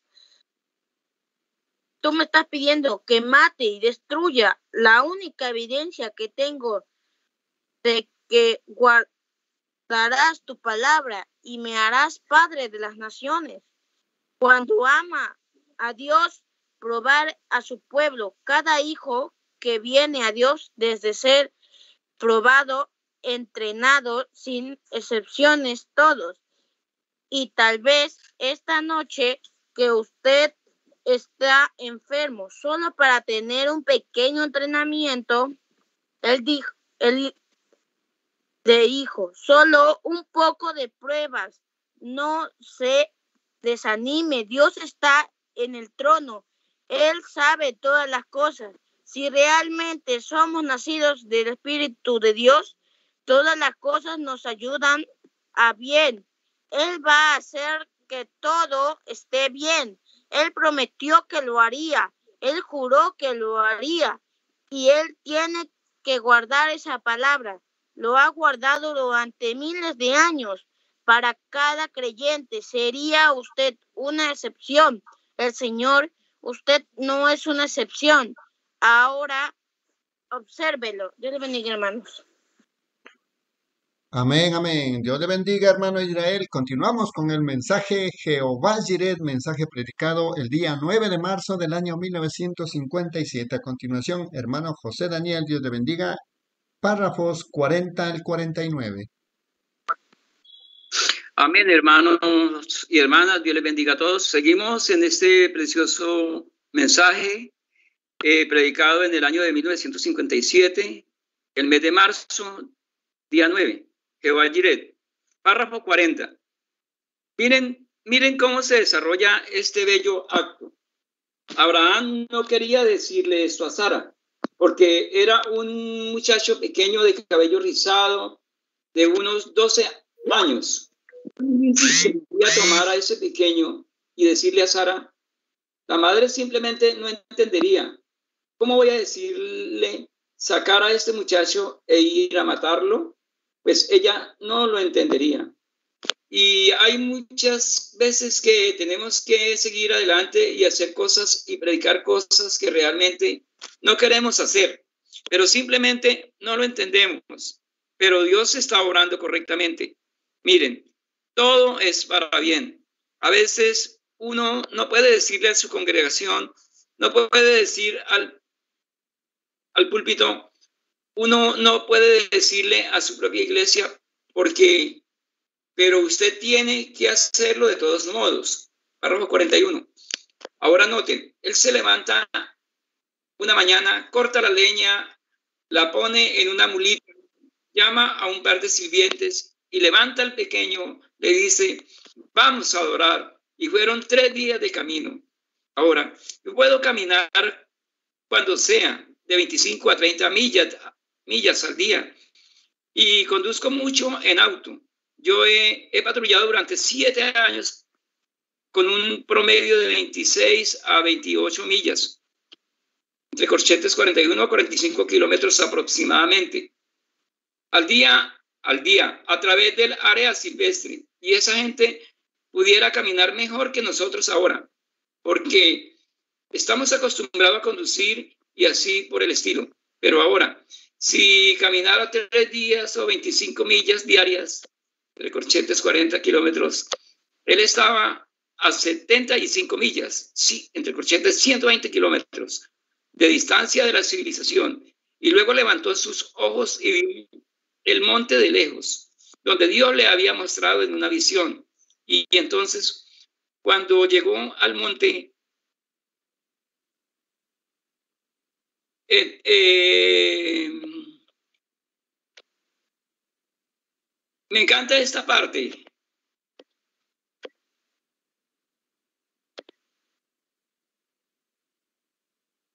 Entre, paréntesis, dijo a los criados, quédense aquí, el muchacho y yo vamos allá a adorar, y él y yo regresaremos. ¿Lo entendieron? El muchacho y yo regresaremos. Párrafo, párrafo 42. ¿Cómo vas a hacerlo, Abraham? Explícamelo. Si tienes el cuchillo en la vaina aquí y una visión de Dios que te dice que vayas a matar a ese muchacho, ¿cómo van a regresar los dos? Pero Dios creyó a Abraham. O mejor, o Abraham creyó a Dios. No lo pensó dos veces. Lo único que sabía era que Dios había hecho la promesa. Y si Abraham hubiese recibido a Isaac, como uno entre los muertos, entre comillas. Él sabía que Dios podía resucitarlo de los muertos. Y si ustedes, estando muertos en pecado y delitos, sin ninguna naturaleza para servir a Dios en, absoluto, y Dios por elección los llamó y les dio su espíritu sin, sin ustedes hacer una elección, entre comillas, ningún hombre puede venir a mí a menos que mi Padre venga primero. Y si Dios hizo eso con ustedes sin que pudieran elegir, ¿cuánto más les sanará y los guardará cuando tienen una elección por medio de un esfuerzo de Él en jurar? ¡Qué maravilla! ¿Cómo Dios prometió? Abraham no lo pensó dos veces. Él dijo, Dios ha sido bueno. Él cumplió su promesa. No sé cómo lo va a hacer, pero Él lo hará. No puedo decirles ¿Cómo lo hace Dios? ¿Cómo podría sanar a un hombre que está muriendo de cáncer y los doctores lo han desahuciado y comido en pedazos? Pero si fuera necesario, creo que en esta noche yo pudiera presentar 500 casos de eso, por supuesto. Párrafo 43. Hoy, cuando iba al restaurante a tomar el desayuno, un hombrecito que estaba detrás de mí, y él dijo, ¿se acuerda de mí? No lo recordaba, pero alguien me había dicho que ese hombre fue llevado a la reunión con tuberculosis muy grave, hasta que no podía ni siquiera susurrar. Y creo que es uno de los pastores patrocinadores esta noche. O eres un ministro del Evangelio predicando con una voz como un león rugiente. ¿Cómo puede Dios hacer eso? No puedo explicarlo, pero Dios dijo que lo haría. Eso lo resuelve. Usted tome su palabra. No intente descifrarlo, descifrarlo. Usted no puede descifrarlo. He visto tantas veces que la gente dice, tenemos que descifrarlo. Tengo que entenderlo. Entonces ya no es fe. La fe no es lo que usted entiende. Fe es lo que usted acepta. Y no puede explicarlo. Eso es un acto de fe. Párrafo 44. Ahora, cuando él tomó al muchacho, el fuego, el fuego, la leña y subió a la colina, el pequeño Isaac se puso curioso. Si usted ve, es un cuadro perfecto de Dios guiando a su hijo arriba del monte Calvario. Ciertamente es. el Padre y el Hijo. El unigénito simplemente un cuadro perfecto. Y cuando llegaron a la cima de la montaña, el pequeño Isaac dijo, Padre, dijo, aquí está el altar, aquí está la madera, aquí está el fuego, pero ¿dónde está el cordero para el holocausto? Él no podía entender. Miren a Abraham, y sin voz temblorosa, él dijo, Hijo mío, Dios proveerá, proveerá para sí un cordero para el sacrificio. Él todavía no sabía lo que iba a suceder. Él estaba caminando como los hijos hebreos, directo al horno ardiente. Nuestro Dios puede librarnos y si no, no, no nos inclinaremos ante tu imagen. Párrafo 45. Así que cuando llegó allí, tomó al pequeño Isaac, puso sus manos detrás de él, lo ató, ató sus pies, los puso sobre el altar, retiró su cabello de su cara. Pueden imaginar el sentimiento de un padre. Sacó el cuchillo de la vaina. El pequeño Isaac nunca gritó, nunca hizo una propuesta. Él confiaba en su padre. O cómo pudieran venir esas horas verdaderamente oscuras.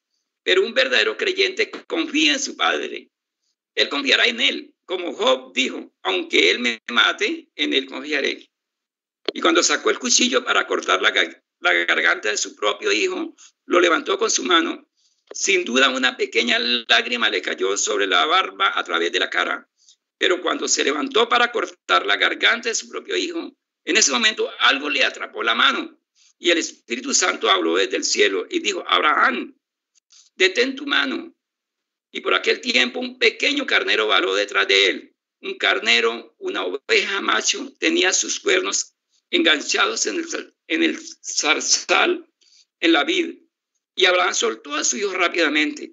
Se acercó y recogió este cordero, un carnero, y lo puso sobre el altar y mató al carnero en lugar de su hijo. Párrafo 46. Ahora quiero preguntarles algo en, en serio. ¿De dónde vino ese carnero? Piénselo. Prácticamente 75 a 100 millas. De Corchete 120 a 160 kilómetros aproximadamente de distancia de la civilización, lobos y leones y todo lo demás en la región. Y además estaba en lo alto de una montaña donde no hay agua y el carnero no pudo haber existido allí. ¿Y por qué Abraham no vio el carnero cuando estaba recogiendo las piedras a su alrededor para hacer el altar? No estaba allí. Era imposible que estuviera allí. Hubiera sido, si el carnero hubiera permanecido tan lejos, habría sido asesinado. No hubiera estado en la cima de la montaña, porque usted sabe, las ovejas no se quedan allí. Las ovejas se quedan en los prados, el césped. Pero aquí estaba este carnero allá arriba. ¿De dónde vino él? Dios lo creó. Y esa es la razón por la cual Abraham llamó el lugar Jehová Jireh. El Señor proveerá el sacrificio. Ahora, él no vio una visión. Una visión no sangra. El carnero tenía un cuerpo físico y tenía sangre física literal. Y mató al carnero y ofreció el carnero en lugar de su hijo. ¿Por qué fue eso? Abraham estaba tomando a Dios en su palabra hasta el final. Y Dios es capaz de hacer lo mismo aquí esta noche a la simiente de Abraham. ¿Quién lo tomará en su palabra?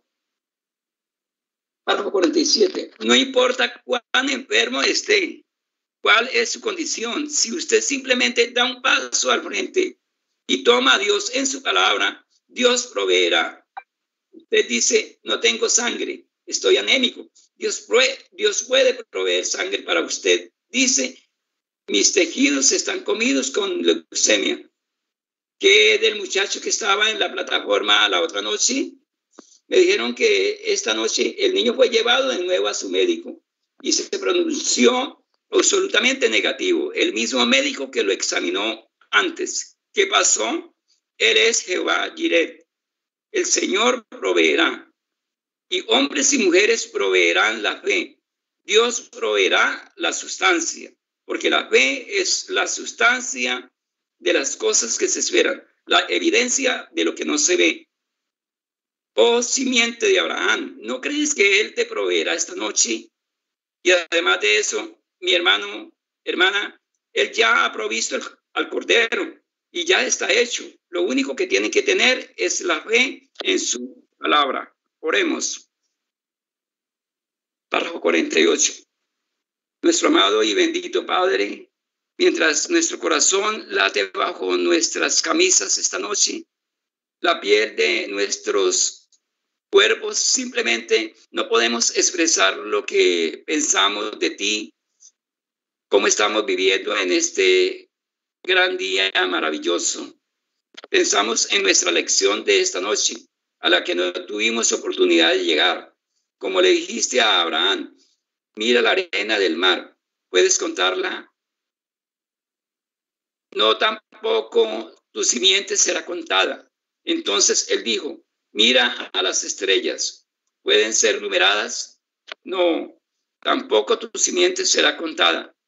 Le doy gracias a Dios que era del polvo a las estrellas, la simiente de Abraham en la simiente promesa, el mismo pacto. Algún día tú hablarás la palabra y toda simiente de Abraham que está en el polvo de la tierra brillará como las estrellas para siempre. Te agradecemos porque tú por gracia, nos has dado este pacto incondicional, el cual nos ha llamado por medio de tu propio Hijo amado, el Señor Jesús, y danos vida eterna para creer en Él. Y ahora, Padre, esta noche ruego que estas palabras, aunque esparcidas a través de una garganta cansada y fatigada, que tú las enviarás por causa del motivo que tengo tras ellas. Habla al hablar la palabra. Son para crear fe entre el pueblo. Y vamos a llamar a estos hijos de Abraham a esta plataforma para orar por ellos. Entonces, bendito Dios, te encontrarás con ellos aquí mientras cumplen todo lo que han prometido. Tal es la fe, pues está escrito en la Biblia por las propias palabras del Señor Jesús. Si ponen sus manos sobre los enfermos, ellos sanarán. Esa es la promesa. Permite que los hijos lo crean, Señor. Oh, sabemos que lo harán. Si son hijos de Abraham, ellos tomarán a Dios en su palabra y también las cosas que no son como si fuesen. Que no son como si fuesen, perdón. Que pueda decirse, Señor, que esta noche sea la palabra que pueda decirse, Señor, que esta noche sea la gran noche cuando la gran línea de enfermos sea alineada aquí, que cada uno de ellos sea sanado y acepte al Señor Jesús como su sanador, porque lo pedimos en su nombre. Amén. Por último, tenemos el párrafo 49. Estoy apenado de estar ronco y retenerlos tanto como lo hice pero ustedes fueron muy amables al sentarse y esperar. Gracias, muy amables. Y les digo, también los amo. Y cada uno de ustedes. Y oro ahora para que cada una de estas personas aquí, visitantes, hay finas iglesias en esta ciudad, los pastores aquí. No creo que haya espacio en la plataforma, pero están alrededor Vayan ahora con algunos de estos pastores y búsquense en la mañana una buena iglesia a la cual ir. Vayan mañana a la escuela dominical y quédense para el culto. Ellos estarán contentos de tenerlos con algunos de estos buenos pastores del Evangelio completo. Ellos los acogerán en su iglesia. Luego creo que me toca otro servicio mañana en la tarde y entonces clausuraremos mañana en la noche. Yo no sé cuando pueda regresar de nuevo a Phoenix, no puedo decirles eso, pero oro que antes de venir aquí yo deseaba, he estado aquí tantas veces que me siento avergonzado de mí. Y yo antes de llegar le dediqué mucha consideración y oración. Y yo pensé, bueno, Dios, yo sé cómo son esos pueblos turistas que yo he de palabras inciertas. Y yo dije, pero ¿Harás algo especial por mí cuando esté ahí esta vez? Señor, permite que algo suceda, que hará mucho bien a fines, concédelo. Es mi oración. Yo no sé lo que será. No le estoy preguntando a Dios qué será, pero solo estoy pidiéndole que lo haga. Algo que dejará al partir, que dije, que deje tras nosotros huellas de las arenas del tiempo. Hermanos, Dios les bendiga a todos, hermanas. Amén, amén hermano José Daniel, Dios le bendiga lectura, glorioso mensaje, mis amados hermanos, Jehová Jireh, mensaje predicado en Phoenix, Arizona, Estados Unidos, el día 9 de marzo del año 1957. Continuamos con la lectura, hermana Rosalia, por favor, Dios le bendiga en los párrafos 50 al 59. Amén, hermanos. Continuando con el mensaje Jehová Jireh, párrafo 50. Ahora, creo que le dije a Billy, les dije anoche que cualquiera que quiera recibir una tarjeta, no bajo la unción, el discernimiento, pero solo para que vengan en la línea para oración, para que estén aquí esta noche y consigan su tarjeta. Y yo, eh, entre cochetes, el hermano Branham pregunta acerca de las tarjetas de oración. ¿Y las repetiste? ¿Qué? ¿50? ¿Y qué? ¿F? Muy bien. Él repartió tarjetas de oración F para esas personas F1 al 50 y ahora lo siento. 50 al 100, 50 al 100, F50 al 100. Ahora vamos a intentar orar por cada uno de ustedes y ahora veamos. Pongámonos de pie. ¿Quién tiene F número 1? Levantaría su mano si podemos encontrarlos. Vean su tarjeta de oración F número 1. Oh, lo siento, oh, traté de tomar uno. Muy bien. F50. ¿Quién tiene F50? Levante su mano. Tarjeta de oración F50. Muy bien, dama. Vendrá aquí. 51. Muy bien, dama. 52, 53, 54, 55, 56. Desearía que lo entendieran de esa manera esta noche. Si está del todo bien para ustedes, es decir, vamos a tener a alguien para el hermano Jack y ellos aquí muy bien. 51, 2, 3, 4, 5, 6, 7, 57, 58, 59, 60. ¿Dónde están ellos? Levanten su mano. F60, 60. Hermano Shotman. Si quiere, Billy lo necesita aquí en este extremo de la línea. 60, 61. Levanten su mano bien. 61, 62, 63. Creo que la muchachita mexicana ahí levantó su mano. Muy bien. 64, 65, 66. 67, 68, 69, 70, 71, 2, 72, F72. No creo que haya visto la mano F72. Levantaría su mano. ¿Quién tiene F72? Oh, bien, muy bien, dama. 73, 73. Levantaría 74, 75, 76, 77, 78, 79, 80, 81, 80, 81. Vi el 81. No queremos que nadie se quede. 81, 82, 82, 83, 84, 84. Tarjeta de oración 84. Ayúdenme un poco algunos de ustedes. 85, 86, 87. 87, 88 la tiene ella, hermana Juanita, ella tiene el 87, 87, muy bien, 88. Tarjeta de oración F88, muy bien. 89, 90, 90, muy bien. 91, 92, 93. Tarjeta de oración F93, la veo. F93, 94, 95, F95, 96, 96, F96 la he perdido. F96. Muy bien. 97, 98, 98, F98, 99, 100. Muy bien. Párrafo 51. Ahora, esta es la clase de línea que solíamos tener cuando veníamos a Phoenix al principio. ¿Cuántos esta noche aquí estuvieron en mi primera reunión cuando estuve en Phoenix? Bien, vaya, vaya, solo miren, recuerden, cuando llegamos a la fila de oración, la gente ponía sus manos sobre las mías Y yo me detenía por un minuto y sostenía su mano por un minuto, y el Espíritu Santo revelaba lo que estaba mal. ¿Recuerdan eso? Recuerden, dije que llegaría a suceder. El Señor me dijo la noche que me encontró que Él llegaría a suceder, que si era sincero, que Él lo llevaría al punto que conocería los mismos secretos de los corazones. Entonces no podía, pero como dije que pasaría así, si era sincero, ¿cuántos me recuerdan diciendo eso en la primera reunión? ¿Ven? Lo ha hecho Él, eso es correcto, ¿ven? 52. Ahora, él se encontró conmigo hace algún tiempo, hace varios meses, y se está preparando para hacer un cambio en mi ministerio. Es un cambio para mejor. Habrá una mujer que vendrá a la plataforma uno de estos días. Ella estará usando un traje de chaqueta marrón, cargando un bebé.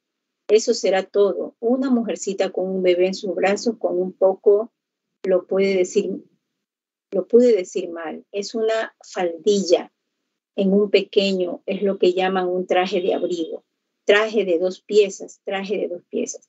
No sé mucho sobre ropa de mujer, no puedo, ni siquiera le compré a mi esposa un par de medias en mi vida. Ella puede comprarlas ella misma, pero en una ocasión cometí un error en eso y lo conocen en mi historia de mi vida. Yo debía conseguir de una clase y conseguir de otra.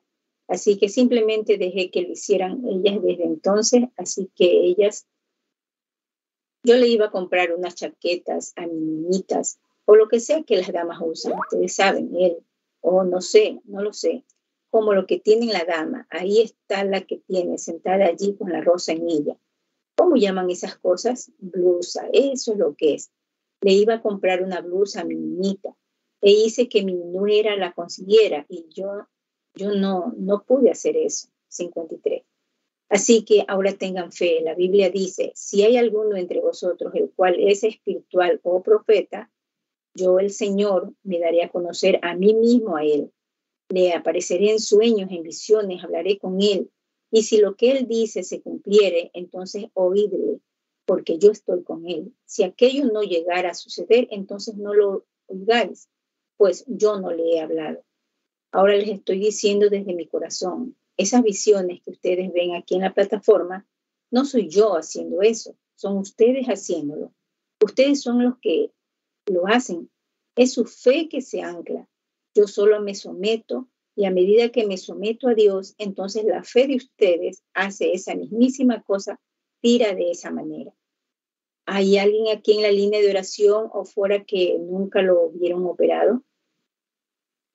Veamos sus manos, que nunca vieron operar solo uno, dos o tres. Ahora no sé si el Señor tal vez, voy a intentar tal vez uno o dos, si el Señor lo permite. Ellos obtienen la unción. Entonces quiero orar por este pañuelo. Entonces tal vez el hermano More puede vigilar la puerta si quiere solo un minuto y luego dejar que la gente pase. Párrafo 54. Ahora, si cada uno de ustedes viene, si creen con todo su corazón y con toda su alma, entonces, ¿qué resulta? La Biblia dice, estas señales seguirán a los que creen. ¿Es eso correcto? Si ponen sus manos sobre los enfermos, se recuperarán. ¿Cuántos saben que esas fueron las últimas palabras que Jesucristo dijo en esta tierra? San Marcos 16, las últimas palabras que salieron de los labios de Jesucristo decían, si imponen las manos sobre los enfermos, ellos sanarán. Mi ministerio nunca ha sido demasiado eficaz en Estados Unidos pero cómo funciona en el extranjero. El hermano Morris estaba diciendo esta tarde, dijo, hermano Branham, así como predicó de fuerte esta semana, si eso fuera en cualquier lugar fuera de los Estados Unidos, hubieran 100 o 200 mil almas ganadas para Cristo. Eso es correcto. Ahora, ustedes ven en la condición tan horrible en la que estamos aquí. Oh hermano, está llegando a ser un corintianismo masivo correcto. Todo simplemente. Esto es así y lo hicimos. No tendremos nada que ver con esto y esto y eso. Salgan y tomen la palabra. Crean en Dios. Palabra 55. Párrafo 55, perdón. Pobre pequeña América. Siento lástima por ellos, pero la hora está cerca. Dios no puede juzgar a un pueblo justo. Ellos han pasado del juicio, pero Él tiene que llegar a esta condición para que Él pueda enviar su juicio. Solo recuerden, estamos a favor. Solo mantengan eso en sus libros y vean cuánto tiempo va a durar. Ahora, si las, si las poderosas obras que se han hecho en Arizona si hubieran sido hechas en África, ellos se habrían arrepentido hace mucho tiempo. Si las obras poderosas que se han hecho en Arizona se hubieran hecho en Alemania, no habrían tenido guerra, se hubieran arrepentido hace mucho tiempo. En Alemania hice mi llamada al altar por cinco noches y conseguí diez mil cada noche. Y calculé cincuenta mil almas ganadas para Cristo en cinco noches. Y nunca toqué a una persona, solo se aglomeraron y se amontonaron y todo de muletas, sillas de ruedas, solo apiladas en las esquinas y todo. Párrafo 56. El hermano Julius Stadcliffe está en algún lugar del edificio esta noche. Lo vi hace un rato sentado aquí. El capellán Stadcliffe. Él estaba conmigo en Sudáfrica, en Durban, donde muchos miles de personas en una gran pista de carreras entre paréntesis, y solo estuvimos allí alrededor de tres o cuatro días, algo así. Y todavía estaban llegando a la reunión una semana después de que yo me había ido. Y el llamado al altar fue hecho de la línea por llamar. No pudimos dar tarjetas de oración. Solo dejamos que los misioneros salieran y tomaran dos de esta tribu y dos de esa tribu y dos de esa tribu, cerca de unas 15 tribus allí, y alinearon una pequeña fila de oración. Y la primera que llegó a la plataforma fue una mujer maometana. Y esa mujer, cuando le dije, ¿por qué viene a mí como cristiana si usted es musulmán? El intérprete dijo, bueno, ella creía que yo podría ayudarla. Le dije, ¿por qué no fue a ver a su sacerdote? Bueno, ella creía que yo podía ayudarla. Le dije, ¿has leído alguna vez la Biblia? Sí. Y si Jesús regresara e hiciera lo mismo que hizo cuando estuvo aquí y me hiciera saber quién es usted, lo que ha sucedido y demás, y lo que está aquí, ¿lo creerá y aceptará a Jesús? Levantó su mano, ella lo haría. Y el Espíritu Santo bajó y dijo, usted fue con su esposo, él es un hombre bajito y corpulento, con bigote negro. Usted fue a un entre, paréntesis, ella era de la India. Fue al médico el otro día y le examinó en las glándulas femeninas y dijo que tenías un quiste que debía ser operado. Ella dijo, así es, y aceptó al Señor Jesús. Eso sucedió a los maometanos hasta que diez mil llegaron a Cristo a la vez. Párrafo 57. Conocí a un misionero que decía, la joya preciosa, la joya preciosa. Había estado allí durante 30 años predicando y había ganado a un maometano. Hermano, los maometanos, los hindúes vinieron de los antiguos medos y persas. Ellos no cambian, correcto, pero el auténtico y genuino Señor Jesús en acción, una sola vez donde, y cuando hice el llamado al altar esa tarde, entre paréntesis, que creo, y hermano Julius, creo que usted creería lo mismo, muy por encima de lo que dijimos, pero 30 mil llegaron a Cristo una sola vez, un llamado al altar. Y F.F. Bosworth, y si alguien conoce alguna vez a un santo en este día moderno, es F.F. Bosworth. Sí, Señor, yo defendería eso si estuviera muriendo en este minuto. Y aquel anciano se paró allí mirando por encima de aquel terreno llorando. Y se estimó que habían ocurrido 25 mil curaciones milagrosas. Y nunca toqué a una persona, simplemente me paré allí y oré por ellos. Siete camiones cargados de todo tipo de palos y camillas y cosas recogidas del suelo, de donde caminaron en inmediata, de inmediato. 25 mil, piénsenlo. Y aquí usted puede predicar hasta quitarse su vida. Y uno dice, bien, muy buen mensaje. Oh, ya no me interesa volver. ¿No es esa Estados Unidos para ustedes? Oh, tu día ha llegado. No estoy hablando con iglesia. Tu día está a la mano también. Ese es el rapto. Alabado sea Dios. Párrafo 58. Hermano Stanley.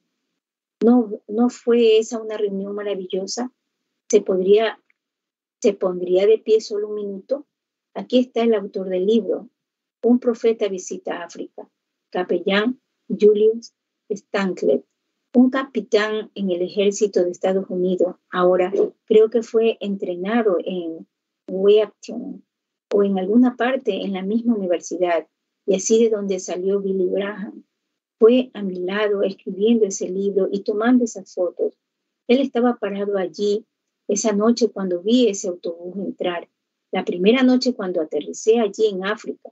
Y allí estaba ese autobús que se movía allí y entonces vi a ese muchacho, una pierna seis pulgadas más corta que la otra. El capellán Stanley estaba parado justo allí tomando esa nota cuando eso sucedió. Cuando miré a mi alrededor, vi un pequeño carro verde volar de lado a lado y golpear en un árbol y romper la espalda de una joven. No pude encontrarla. Ahora ella estaba acostada debajo aquí y cuando llegué, recuerde, mejor tenga cuidado con lo que le dice, pero vi una visión de ella regocijándose y correr. Le dije, ponte de pie, jovencita, Jesucristo te sana. La madre dijo, oh, no, no, ella no puede pararse. El médico dice que si se mueve morirá. Su espalda estaba apretada. Y la muchacha se puso de pie, regocijándose, y la madre cayó sobre el catre del que la muchacha se levantó.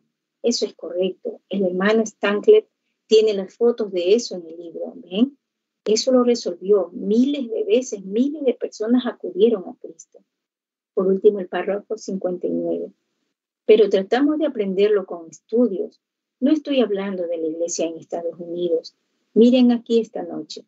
¿Cuántos aquí son salvos? Veamos sus manos. Todo cristiano aquí, ¿ven? Los pecadores casi ni están interesados. No quieren venir. No les interesa nada al respecto. Están a punto de pecar más allá del día de la gracia.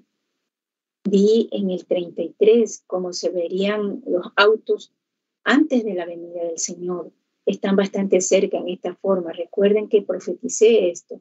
Escríbanlo en sus cuadernos. Se los he dicho muchas veces, cada vez.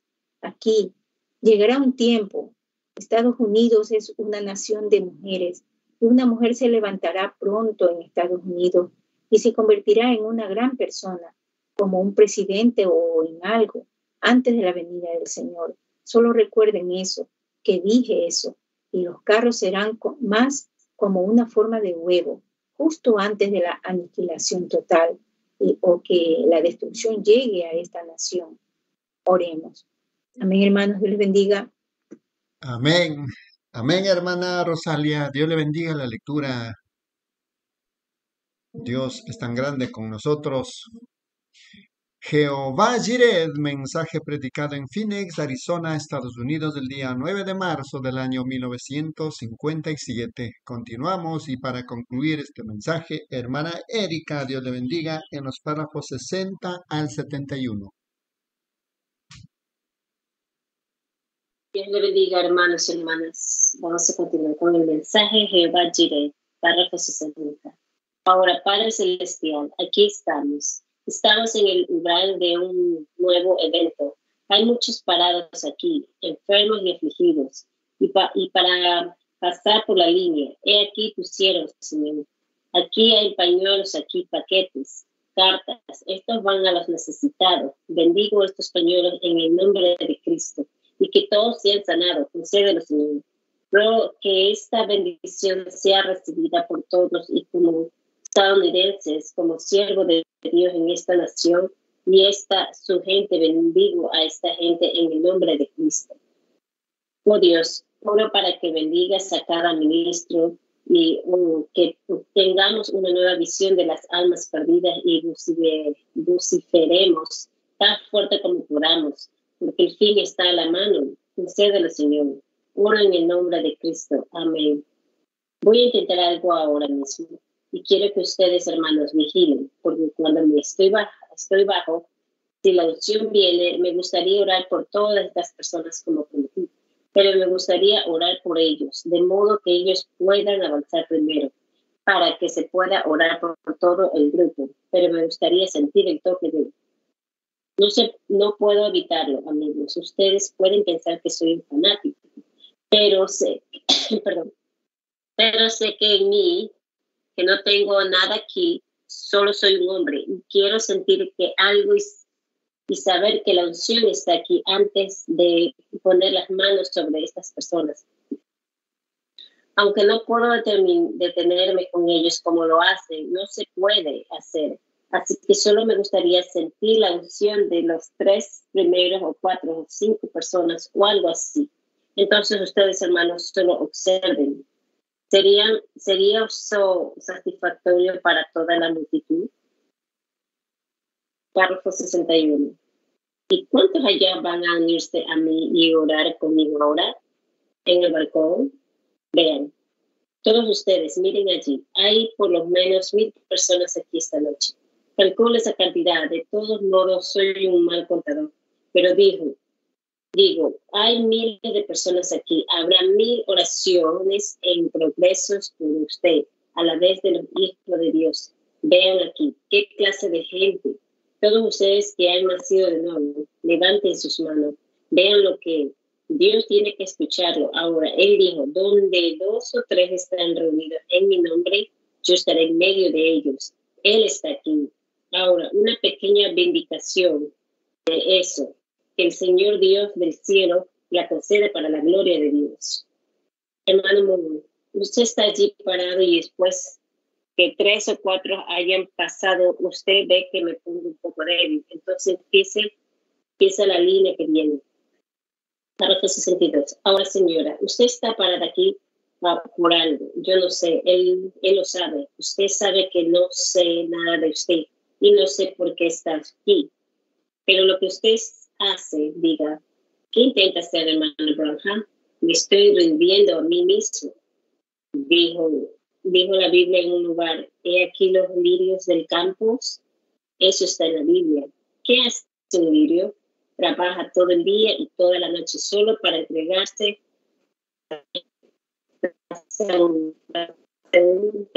para repartir. Él fue hecho lirio. Dios hace la miel, así que Él hace lirio para que dé miel. Él da dones a su iglesia. Nosotros solo nos rendimos, nos rendimos ahora bien.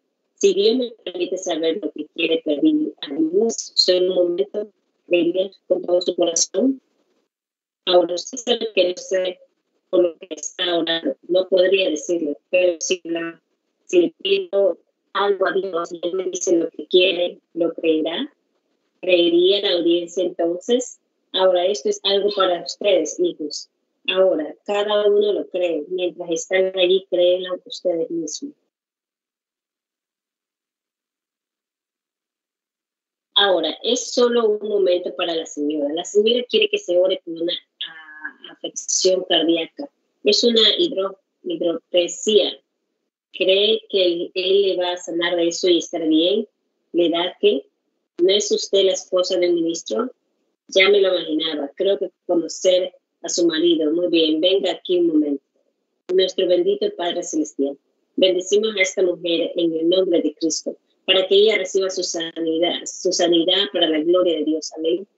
Ahora Dios le bendiga, Señor. Párrafo 63. Ahora usted, señora, ¿cree usted que todo corazón? La Biblia dice, si puedes creer, todo es posible. Su problema está en su garganta y eso se llama una úlcera de garganta y tiene esto causó algo la glándula y está afectando sus oídos, así es, ¿no? Ahora ve, ahora cree, venga acá. Oh, bendito Jesús, oro para que la sanes en el nombre del Señor Jesucristo. Amén. Dios le bendiga. Párrafo 64. ¿Cómo está, Señor? ¿Cree con todo su corazón? Él puede quitar la catarata, no puede verla, pero usted tiene una catarata y usted está creyéndole a Dios por eso cree que soy el profeta de Dios? Usted no es de aquí, no, Señor. Su esposa está con usted y, ella ya ha aceptado su sanidad.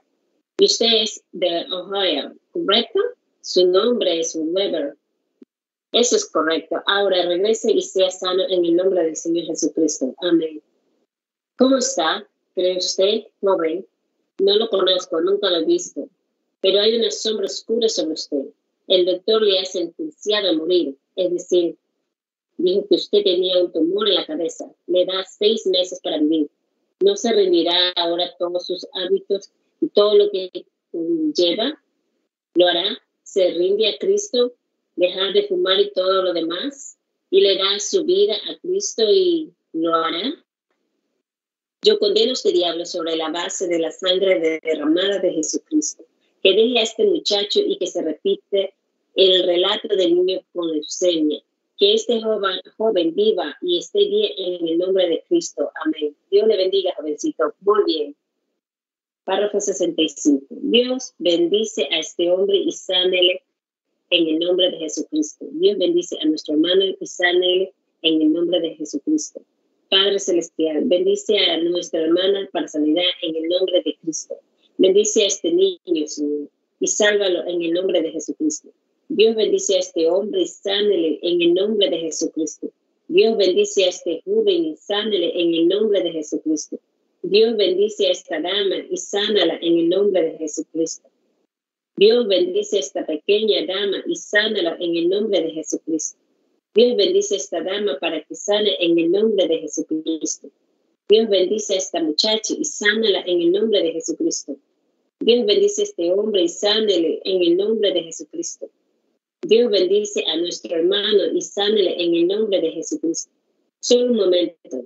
¿Están orando, audiencia? Estén ahora en oración.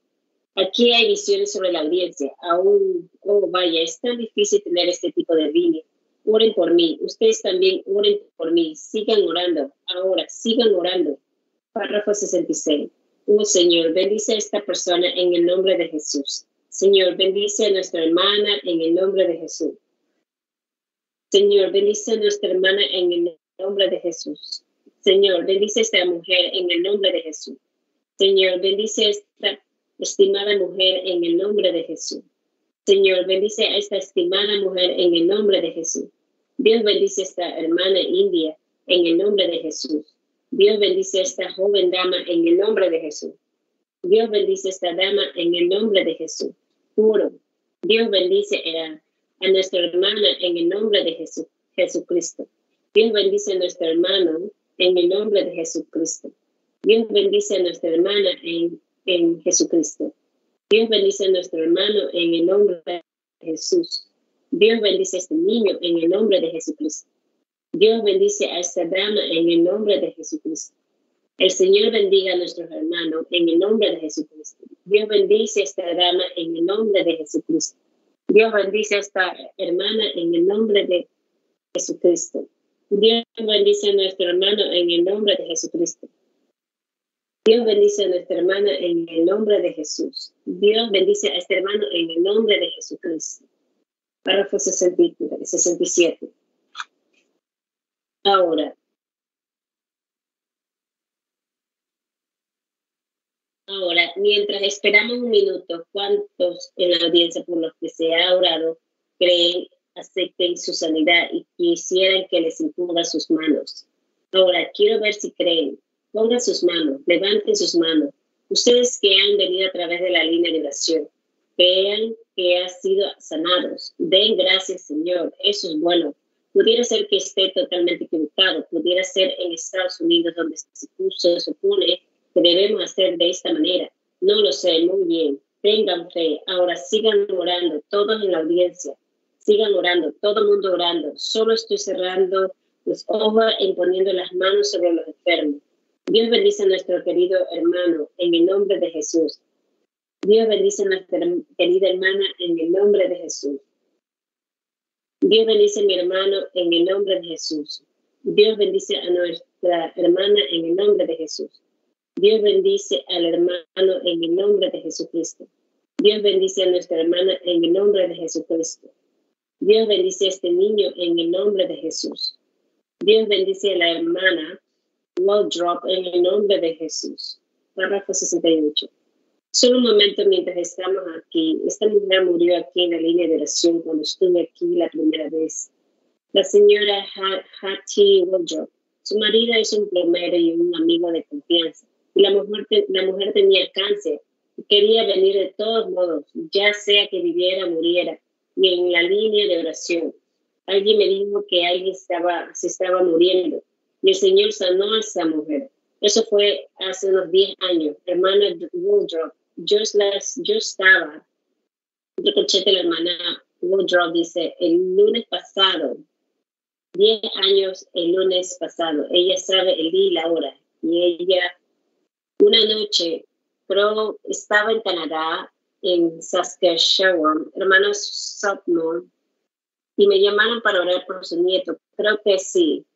Por cierto, el hermano Brown habla con la hermana Woodrow, el nieto de la hermana. ¿Qué le pasaba? Hemorragia cerebral y polio. En el hospital Stein Joseph, Joseph. Oré por él por el teléfono y el Señor sanó a ese niñito perfectamente normal y bien. Él estaba en la casa y caminó, camino con nuestras hermanas allí una noche. No fue así, hermano Woodrow. Dios le bendiga su corazón, que Dios le bendiga, hermana. Párrafo 69. Digamos, alabado sea el Señor. Amén. Vaya, vaya, qué maravilloso, cuán grande eres, cuán grande eres. Oh, me gustaría poder cantar eso. Cuán grande eres. ¿No es Él maravilloso? Ahora todos inclinen la cabeza y oren muy bien. Amado Dios, ruego por esta preciosa niñita para que la sanes y la hagas estar bien en el nombre de Cristo. Amén. Dios bendice a esta, nuestras hermanas, y por la imposición de manos tú has dicho en tu palabra, estas señales seguirán a los que creen. Si ponen las manos sobre los enfermos, ellos sanarán. Esto lo hago en el nombre de Jesús. De la, de la misma manera impongo mis manos a nuestra hermana en el nombre de Jesús. De la misma manera a nuestra hermana en el nombre de Jesús. Que ella sea sana. De la misma manera a nuestro hermano en el nombre de Jesús. Que sea sano. De la misma manera a nuestra hermana en el nombre de Jesucristo. Que ella sea sana. En el nombre de Jesucristo. Que nuestra hermana sea sana. En el nombre de Jesucristo. Que nuestro hermano sea sano en el nombre de Jesucristo, que el bebé sea sano. Bendice a nuestra hermana y sálvala en el nombre de Jesús. Bendice a nuestra herida eh, hermana y sálvala con manos y puestas sobre ella en el nombre de Jesús. Amén. Ahora piensen amigos, si Dios habla, Él dice la verdad. Estas señales seguirán a los que creen. Ahora estén en oración mientras inclinan la cabeza. Padre Celestial, en el nombre de Jesucristo, que nuestro hermano puede ser sanado, Padre Dios, en el nombre de Jesucristo. Que nuestra hermana sea sana. Amén. Párrafo 70. Eso es mucho más fácil que de la otra manera para mí. Si esa es la manera que usted lo desea, eso es de puro mi manera también.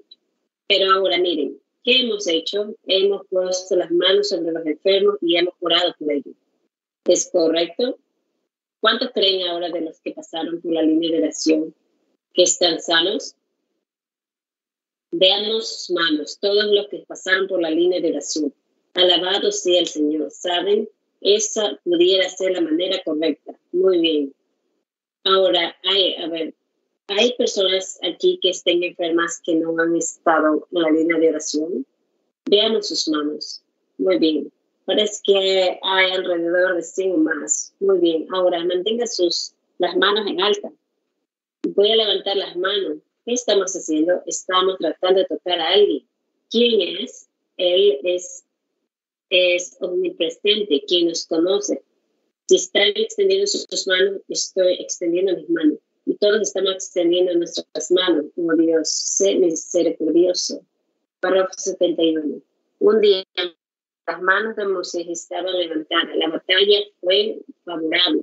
Y oh Dios, Hoy estamos levantando nuestras manos, creyendo que nuestra elevada a Jesucristo, quien fue levantado por, nosotros, y creemos que tu poder sanador, oh Dios, que llueva de los cielos como una tempestad sobre cada individuo aquí y sálvalos. Concédelo, Señor. El poder sanador de Dios se, se prende en este edificio ahora mismo. Todos los que creen que están sanados aplaudan. Aleluya. Entonces se acabó. Entonces estamos sanados. Entonces Cristo está aquí. Entonces Dios está aquí. Entonces los ángeles están aquí. Entonces Dios obtiene la gloria de todo esto. Alabado sea el Señor, Dios. Está bien, hermano Moore. Mientras inclinamos la cabeza un momento, le pediré al hermano Moore que venga a tomar este servicio. ¿Quieres que se ore por ti, hijo? Oro que bendigas a este hombre y sánele en el nombre de Jesucristo. Amén. Dios te bendiga ahora. Inclinemos nuestras cabezas. Solo un momento, hermano mío. Dios le bendiga, hermanos. Amén, amén, hermana Erika. Dios le bendiga la lectura. Y de esta manera, mis amados hermanos y hermanas, Jehová Jireh en la escena, en nuestros labios, de nuestra boca, y esperamos que quede bien plasmado en cada uno de vuestros, de vuestros corazones. Este mensaje, este servicio fue predicado en Phoenix, Arizona, Estados Unidos, el día 9 de marzo del año 1957. De inmediato vamos a pasar al siguiente mensaje y vamos a tener el privilegio de continuar con la lectura titulado Lavando los pies a Jesús. Mensaje predicado en Phoenix, Arizona, Estados Unidos, el día 10 de marzo del año 1957. Iniciamos con este nuevo mensaje en los párrafos 1. Voy a lecturar del 1 al 8. Lavando los pies a Jesús. Mensaje predicado en Phoenix, Arizona, Estados Unidos el 10 de marzo del año 1957. Dirigido espiritualmente a la iglesia, buscándome para que orara por él. ¿Cómo el Señor hizo eso? Nadie sabía que yo iba allá, ni el mismo hermano Bower, y simplemente nos sentimos dirigidos para ir allá y allí estaba el Señor. Y anoche se le dijo a un jovencito católico que tenía un tumor en el cerebro y estaba, el doctor dijo que iba a morir. ¿Y cómo era que se había orado por él en la plataforma? De alguna manera fue extrañamente dirigido a esa, ese lugar esta mañana. Tuvimos un tiempo maravilloso. Ahora, ustedes, gente del Evangelio completo, muchos de ustedes no pueden entender, ¿era ese el muchacho que levantó su mano en ese momento? El muchacho indio, sí, hermano, Dios le bendiga. ¿Se siente mejor? Se siente, eso es muy bueno, eso está bien, le damos gracias a Dios por eso y de ese modo solo estamos esperando, confiando y creyendo con todos nuestros corazones que usted y su esposita encantadora y su bebé puedan entrar y dar un testimonio del poder del Señor Jesús. Es nuestra oración sincera y nuestra confianza. Párrafo 2. Ahora, escuché a este hermano bautista que acaba de hablar de lo que ha tenido que pasar. Para ustedes, gente del Evangelio completo, bueno, oyen que alguien da un testimonio, eso pudiera no significar mucho. Por supuesto que lo apreciarían, pero yo sé dónde está parado el muchacho. Yo pasé por las mismas tribulaciones y sé lo que significa salir con verdadera fe genuina con el bautismo del Espíritu Santo. Yo recuerdo lo que me dijeron cuando fui y les dije que había recibido el Espíritu Santo. El doctor David me dijo, Billy, necesitas un descanso, ve a casa, hay algo mal contigo. Dijo, ¿tuviste una pesadilla? Dije, vi un, vi un ángel. Sí, señor. Él dijo, ¿Tú con una gramática de escuela primaria vas a predicar el Evangelio alrededor del mundo? Yo dije, eso es lo que dijo y eso es lo que haré. Y lo hice por la gracia de Dios. Párrafo 3. Ahora escuchen, este muchacho aquí necesita un brazo y una mano. Ustedes saben, así que déjenlo usted, hermano, realmente lo necesita ahora. Alguien que lo lleve, él salió de ahí para resaltar la cosa entera de Dios y para creer en el bautismo del Espíritu Santo, creer en Jesucristo y las señales, maravillas y milagros. Él ha salido para ser nuestro hermano. Ahora, demostremos que también somos sus hermanos en aprecio. Que Dios le bendiga es mi sincera oración. Ahora, oí que la damita está por ser madre otra vez ahora mismo y solo una exclusión como esa lo ha preocupado incomodado y de todo. Y él tenía una condición nerviosa, problemas estomacales. Él oró esta mañana. Estoy seguro que Dios escuchó, que Dios los bendiga, es mi sincera oración. Y a la damita, ella ha pasado por tribulaciones también de ser una cantante de ópera a ser una sierva de Dios. Estoy muy bien por eso. Oro que Dios le bendiga ricamente. Párrafo 4. Supongo que el alcalde me envió la llave de la ciudad. Gine la acabo de ver puesta allí, hermano Outruan, y pensé que podía ser la llave de la ciudad. No sabía, aunque supongo que no lo es, pero lo que yo quiero es la llave de la escritura, el Espíritu Santo. Párrafo 5. Ahora, hoy tenemos un pequeño drama que el Señor ha puesto en mi corazón esta tarde y quiero que estén muy quietos por unos momentos y escuchen. Ahora vamos a salir bien temprano, si el Señor quiere, de modo que aquellos que puedan volver esta noche. Ahora, entiendo que algunos de ellos esperan que este fuera el servicio de clausura. Muchos forasteros en la ciudad querían servicio esta noche también. Si su pastor desea que usted esté en su iglesia esta noche, no ha cerrado. Es su deber estar en su puesto esta noche. Eso es correcto. Ninguna persona esté alejada de su iglesia. Usted tiene su iglesia. Ahora, cuando todo esto termine, queremos que vuelvan a su iglesia, regrese a su iglesia de donde viene. Continúe desde allí y sea un mejor cristiano si puede. Y todos los que han sido convertidos en las reuniones traten con los que están en el vecindario vecindario. Perdón, visítelos y tráiganlos a su iglesia para que tengan compañerismo con ustedes. Para eso es el avivamiento. Regocíjense con esos que han sido sanados y siempre recuérdenme en oración. Párrafo 6. Ahora, parece haber algo mal con nuestra historia esta tarde. Mientras la miramos, solo parece no ser la clase correcta del sonido por la voz que habla. ¿Cómo podían estos fariseos amar a Jesús? Ellos lo odiaban, pues no tenían nada que ver con este hombre llamado Jesús. Él despedazó sus iglesias y de todo, pues ellos lo despreciaron. ¿Y cómo pudo este fariseo pedirle que fuera a su casa para cenar? Nosotros normalmente invitamos a gente que amamos, que coma con nosotros. Usted sabe, como alguien que usted aprecia. Hay algo respecto a comer uno con el otro. Esa es la razón que tenemos la cena del Señor. Es para confraternizar alrededor de la cena del Señor, lo que lo hace muy especial para nosotros. Pero ¿cómo pudo este fariseo invitar a Jesús a su casa?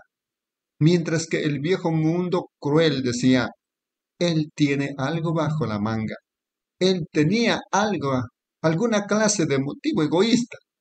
Párrafo 7. La palabra fariseo quiere decir actor.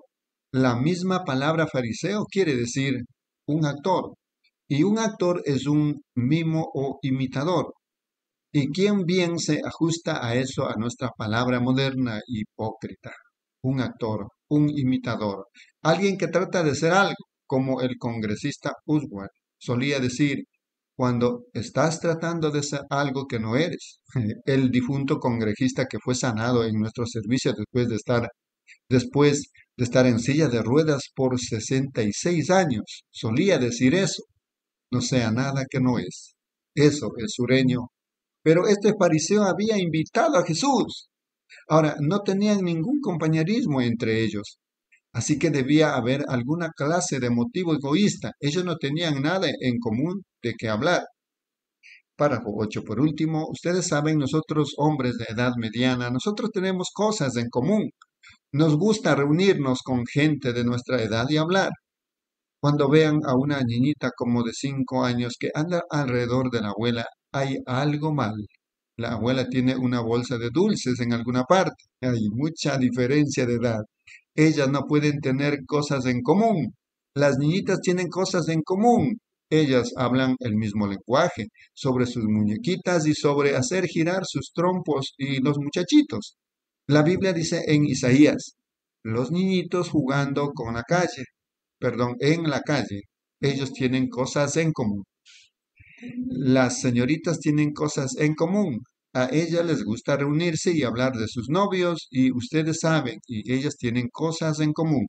Y las otras damitas, ustedes saben, ellas tienen cosas en común. A ellas les gusta reunirse y hablar, reunirse y hablar. Entonces, ellas tienen cosas en común. Bueno, el hombre es igual. Los kiguanes en la ciudad, a ellos les gusta reunirse tienen una pequeña cena y hablan sobre negocios de la ciudad, de cómo pueden alimentar al pobre y las cositas que debieran ser hechas. Los Kiwan tienen cosas en común, las logias. Y los cristianos tenemos cosas en común. Eso es por lo que estamos aquí esta tarde. Tenemos cosas en común. Tenemos algo en lo que todos estamos interesados. Si no fuera así, deberíamos estar afuera en los parques o afuera en la carretera. Pero tenemos cosas en común. Queremos hablar sobre Jesús porque eso es lo que tenemos en común entre nosotros. Hoy es del Señor Jesús. Nunca venimos aquí solo para ser vistos. Venimos de aquí para hablar sobre Jesús y venimos para confraternizar alrededor de su palabra y con su gente. Eso es por lo que estamos aquí. Amén. Gloria a Dios. Tenemos tiempito todavía. Hermanos, Dios le bendiga. Continuamos con este glorioso mensaje, lavando los pies a Jesús. Mensaje predicado el 10 de marzo del 1957. Continúa, hermana Reina, por favor, en los párrafos 9 al 16. Dios le bendiga, hermanos y hermanas. Continuando con el mensaje, lavando los pies a Jesús predicado el 10 de marzo del año 1957. Párrafo 50 y, perdón, párrafo 9. Pero, ¿cómo pudo este fariseo invitar a Jesús, a quien odiaba, para que viniera y cenara con él? Y debió haber sido tarde, me supongo, como a la hora del descanso del sol y a la puesta del sol. Y Jesús estaba cansado había estado predicando todo el día y quizás con voz ronca de tanto hablar y su rostro quemado por los rayos directos del sol palestino. Y mientras comienza nuestra historia, puedo ver a un joven, todo sudado, sus piernas sudadas y polvosas, y se para afuera del gran círculo de gente presionando sobre él para oír la palabra párrafo 10. Y ustedes saben, he oído a, muchos buenos predicadores y cómo me encanta oír buena predicación. No tengo el privilegio de hacerlo muy bien, pero amo oír a un buen predicador que conoce la palabra. Pero oh, cómo debió ser oírlo decir algo. Solo una palabra de él emocionaría nuestros corazones más allá que cualquier voz que alguna vez oímos. Y cómo la gente debió haberle presionado para oír la palabra. Y mientras miramos a un lado, veo a este joven cansado, temblando por correr rápido, todo su cuerpo sudado, parado de puntillas, mirando por encima. Oh, dice él, ese es él, ese es él, porque nunca oí a un hombre hablar así. Vean, él había estado separado y había sido enviado por su gran y rico pastor para encontrar a Jesús. Debió haber sido un alivio para él cuando lo encontró. Él había ido de un lugar a otro y encontrar que él no estaba ahí. Él se había ido a alguna otra parte. Párrafo 11. Pero unos cuantos días antes de eso, su amo rico, que vivía en otra ciudad, era un gran hombre en esa ciudad. Él tenía una gran influencia y la gente le tenía un gran respeto y puedo verlo. Ahora, estos fariseos estaban lejos de ser hombres pobres. Algunos de ellos eran excesivamente ricos. Ellos recibían los diezmos y las ofrendas y los cortes del sacrificio y eran hombres ricos y eran observados y tenían que vivir una vida honesta y respetarse como los clérigos en la ciudad. Pero pudiera decir esto, que con todo eso, lo cual está todo bien, pero si su corazón no está bien con Dios, usted todavía no es nadie a la vista de Dios. No importa qué tan religioso, qué tan respetado, qué tan buen nombre tenga, qué tan honesto es, no significa nada a la vista de Dios. Párrafo 12. Estamos observando a este fariseo y puedo verlo mientras camina de un lado a otro en los grandes corredores de su casa. Yo soy el doctor fulano de tal en esta ciudad. Ustedes saben, yo soy un ciudadano bien respetado.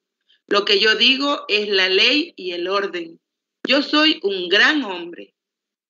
Y cuando usted llega a pensar eso en su corazón, entonces usted no es nada de lo que debiera ser, dice la Biblia.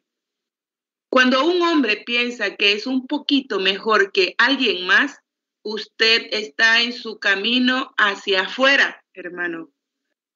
Eso es correcto. Todos somos iguales a la vista de Dios, rico, pobre, moreno, negro, blanco, amarillo, lo que pudiéramos ser. Todos estamos en igualdad con Dios. Amén. Y cuando este fariseo de estilo propio caminaba de arriba abajo por el piso y decía, ustedes saben, creo que haré una muy grande fiesta aquí. Ustedes saben, si pudiera hacer una gran fiesta, hacer que todo mundo hable de ella, probablemente en la portada del periódico o en la columna de la sociedad, entre paréntesis si hubiera tal cosa. Párrafo 13. Ahora, a medida que dramatizaremos, a medida que dramatizamos esto, vamos a usar nombres y demás, lo que puede parecer un poco extraño, pero para obtener los principios, el mensaje que quiero que oigan.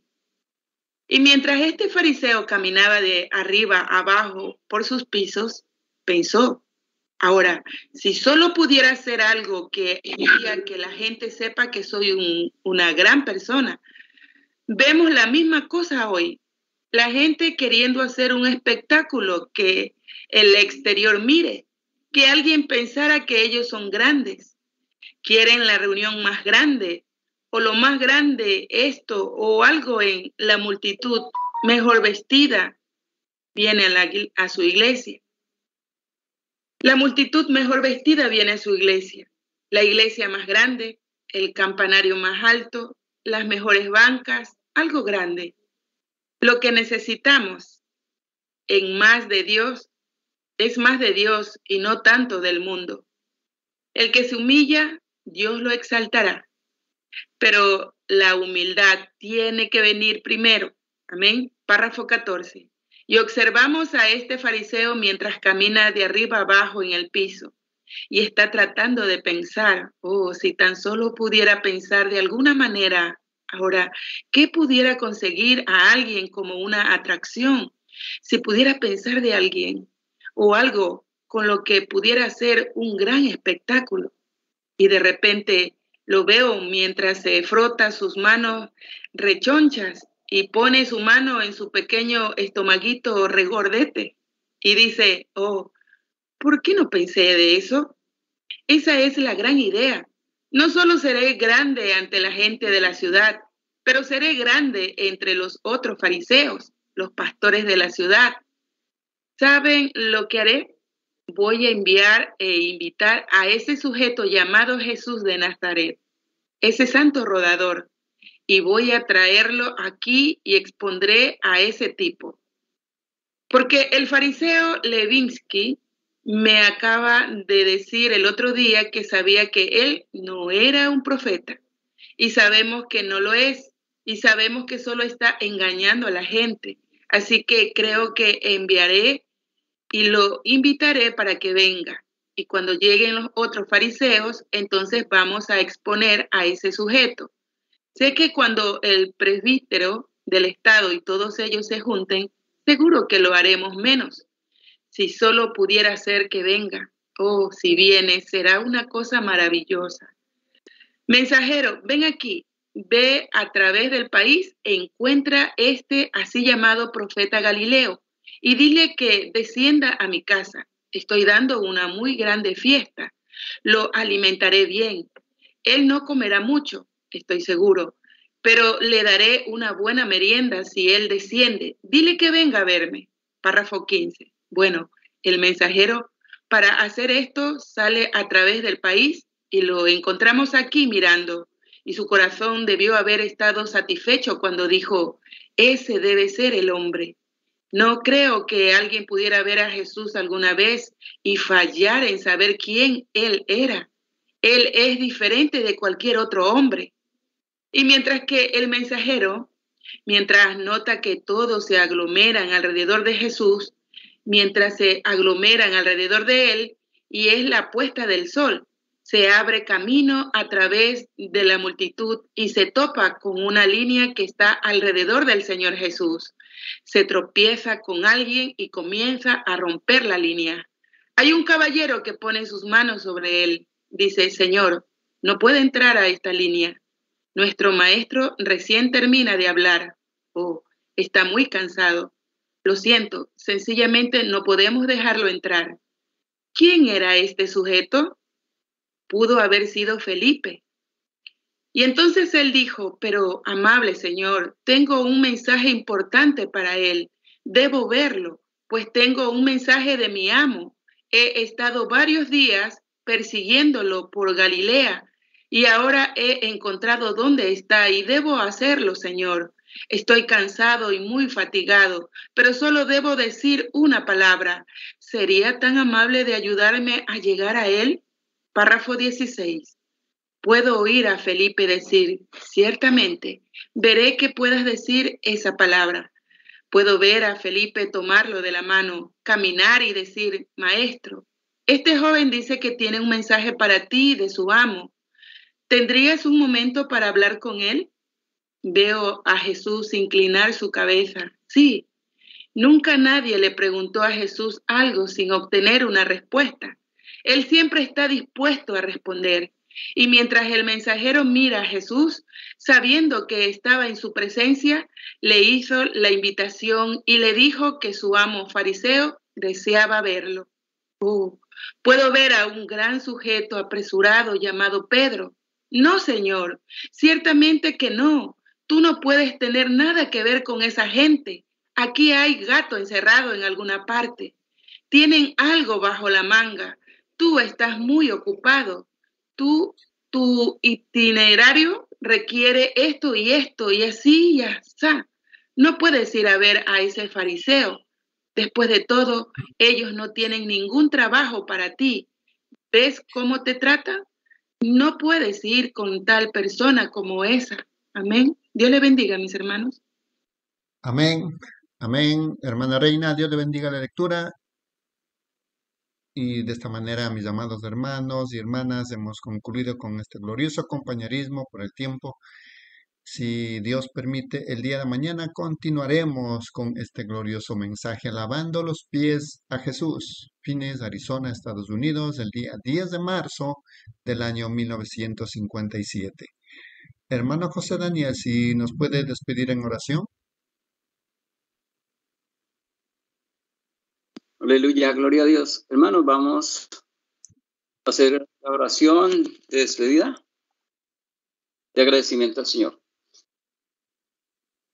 Padre Celestial, en este momento estamos dándote gracias, Señor, porque por esta vez, Señor, nos, Señor, para con este mismo pensamiento, con este mismo sentir, Señor, con esta misma forma, Señor, de, de agradarte a ti, Señor, de servirte a ti con la lectura de la palabra, también con la palabra, Señor. Gracias, Padre Celestial, Dios mío. Señor, que cada día estemos más felices para en este servicio, Señor, que hagamos todas las cosas con, con alegría, con júbilo, con regocijo, Señor, porque eso te agrada a ti, Señor, de que lo hagamos con alegría y que lo hagamos de corazón, Señor, olvidándonos de todas las cosas, olvidándonos de todo lo que nos rodea, Señor, de todas esas cosas que nos, nos, nos, nos hacen que nos ponen dificultades, Señor, y hacerlo cada día con más amor, Señor. Estos preciosos mensajes, Señor, esta preciosa palabra, Señor, es que cada día, Señor, cada día esté en nuestro corazón, en nuestra mente, Señor, en nuestro corazón, Señor, plasmar en nuestro corazón, Señor, lo que hacemos, Señor, que se quede en nuestra alma, Señor, de todos mis hermanos, de todas mis hermanas, Señor, porque es necesario que esta palabra, Señor, se haga carne, Señor, totalmente en nuestra vida, Señor, para así, Padre, ser uno contigo, Señor, porque así como tú lo dices, que seamos uno contigo, Señor, uno, la palabra, el mensaje, uno contigo, Señor. Muchas gracias, Padre Celestial. Te damos, Señor, muchas gracias a mis hermanos por este trabajo tan maravilloso, tan lindo, que de verdad es de mucho gozo, de mucha alegría, de mucho, de mucho bienestar para nuestras vidas, Señor. Toda la bendición tuya, Señor, de tu palabra, de tu mensaje, Señor, se quede en las almas de mis hermanos, Señor, y cada día hacerlo mejor, para, y de los niños, Señor, de nuestros jóvenes, de todos, Señor, en todo lugar, Señor, que oyen este maravilloso trabajo de nuestros hermanos allá en ese lugar donde se encuentre, Señor. Muchas gracias, Padre Celestial, y Dios nos bendiga a todos y para poder seguir cada día mejorando y, y, y que, está, y que todos los que estemos, Señor, en este programa, Señor, lleguemos, Señor, a estar en unidad contigo, Señor. En el nombre de nuestro Señor Jesucristo, muchas gracias, Señor, por tu mensaje y por tu palabra. Amén. Hermanos, Dios les bendiga, hermano José, todas mis hermanas, todos los jóvenes, todos mis hermanos los bendiga en el nombre del Señor Jesucristo. La bendición sea sobre todos ustedes para ti. Amén, amén, hermano José Daniel. Dios le bendiga a todos. Shalom, Dios le bendiga a todos. Dios le bendiga, hermanos y hermanos. Shalom a todos. Dios le bendiga, hermana Erika. Shalom. Hermana Narcisa, Dios le bendiga. Hermana Rosalía, Dios le bendiga. Hermana, Dios le bendiga. Shalom.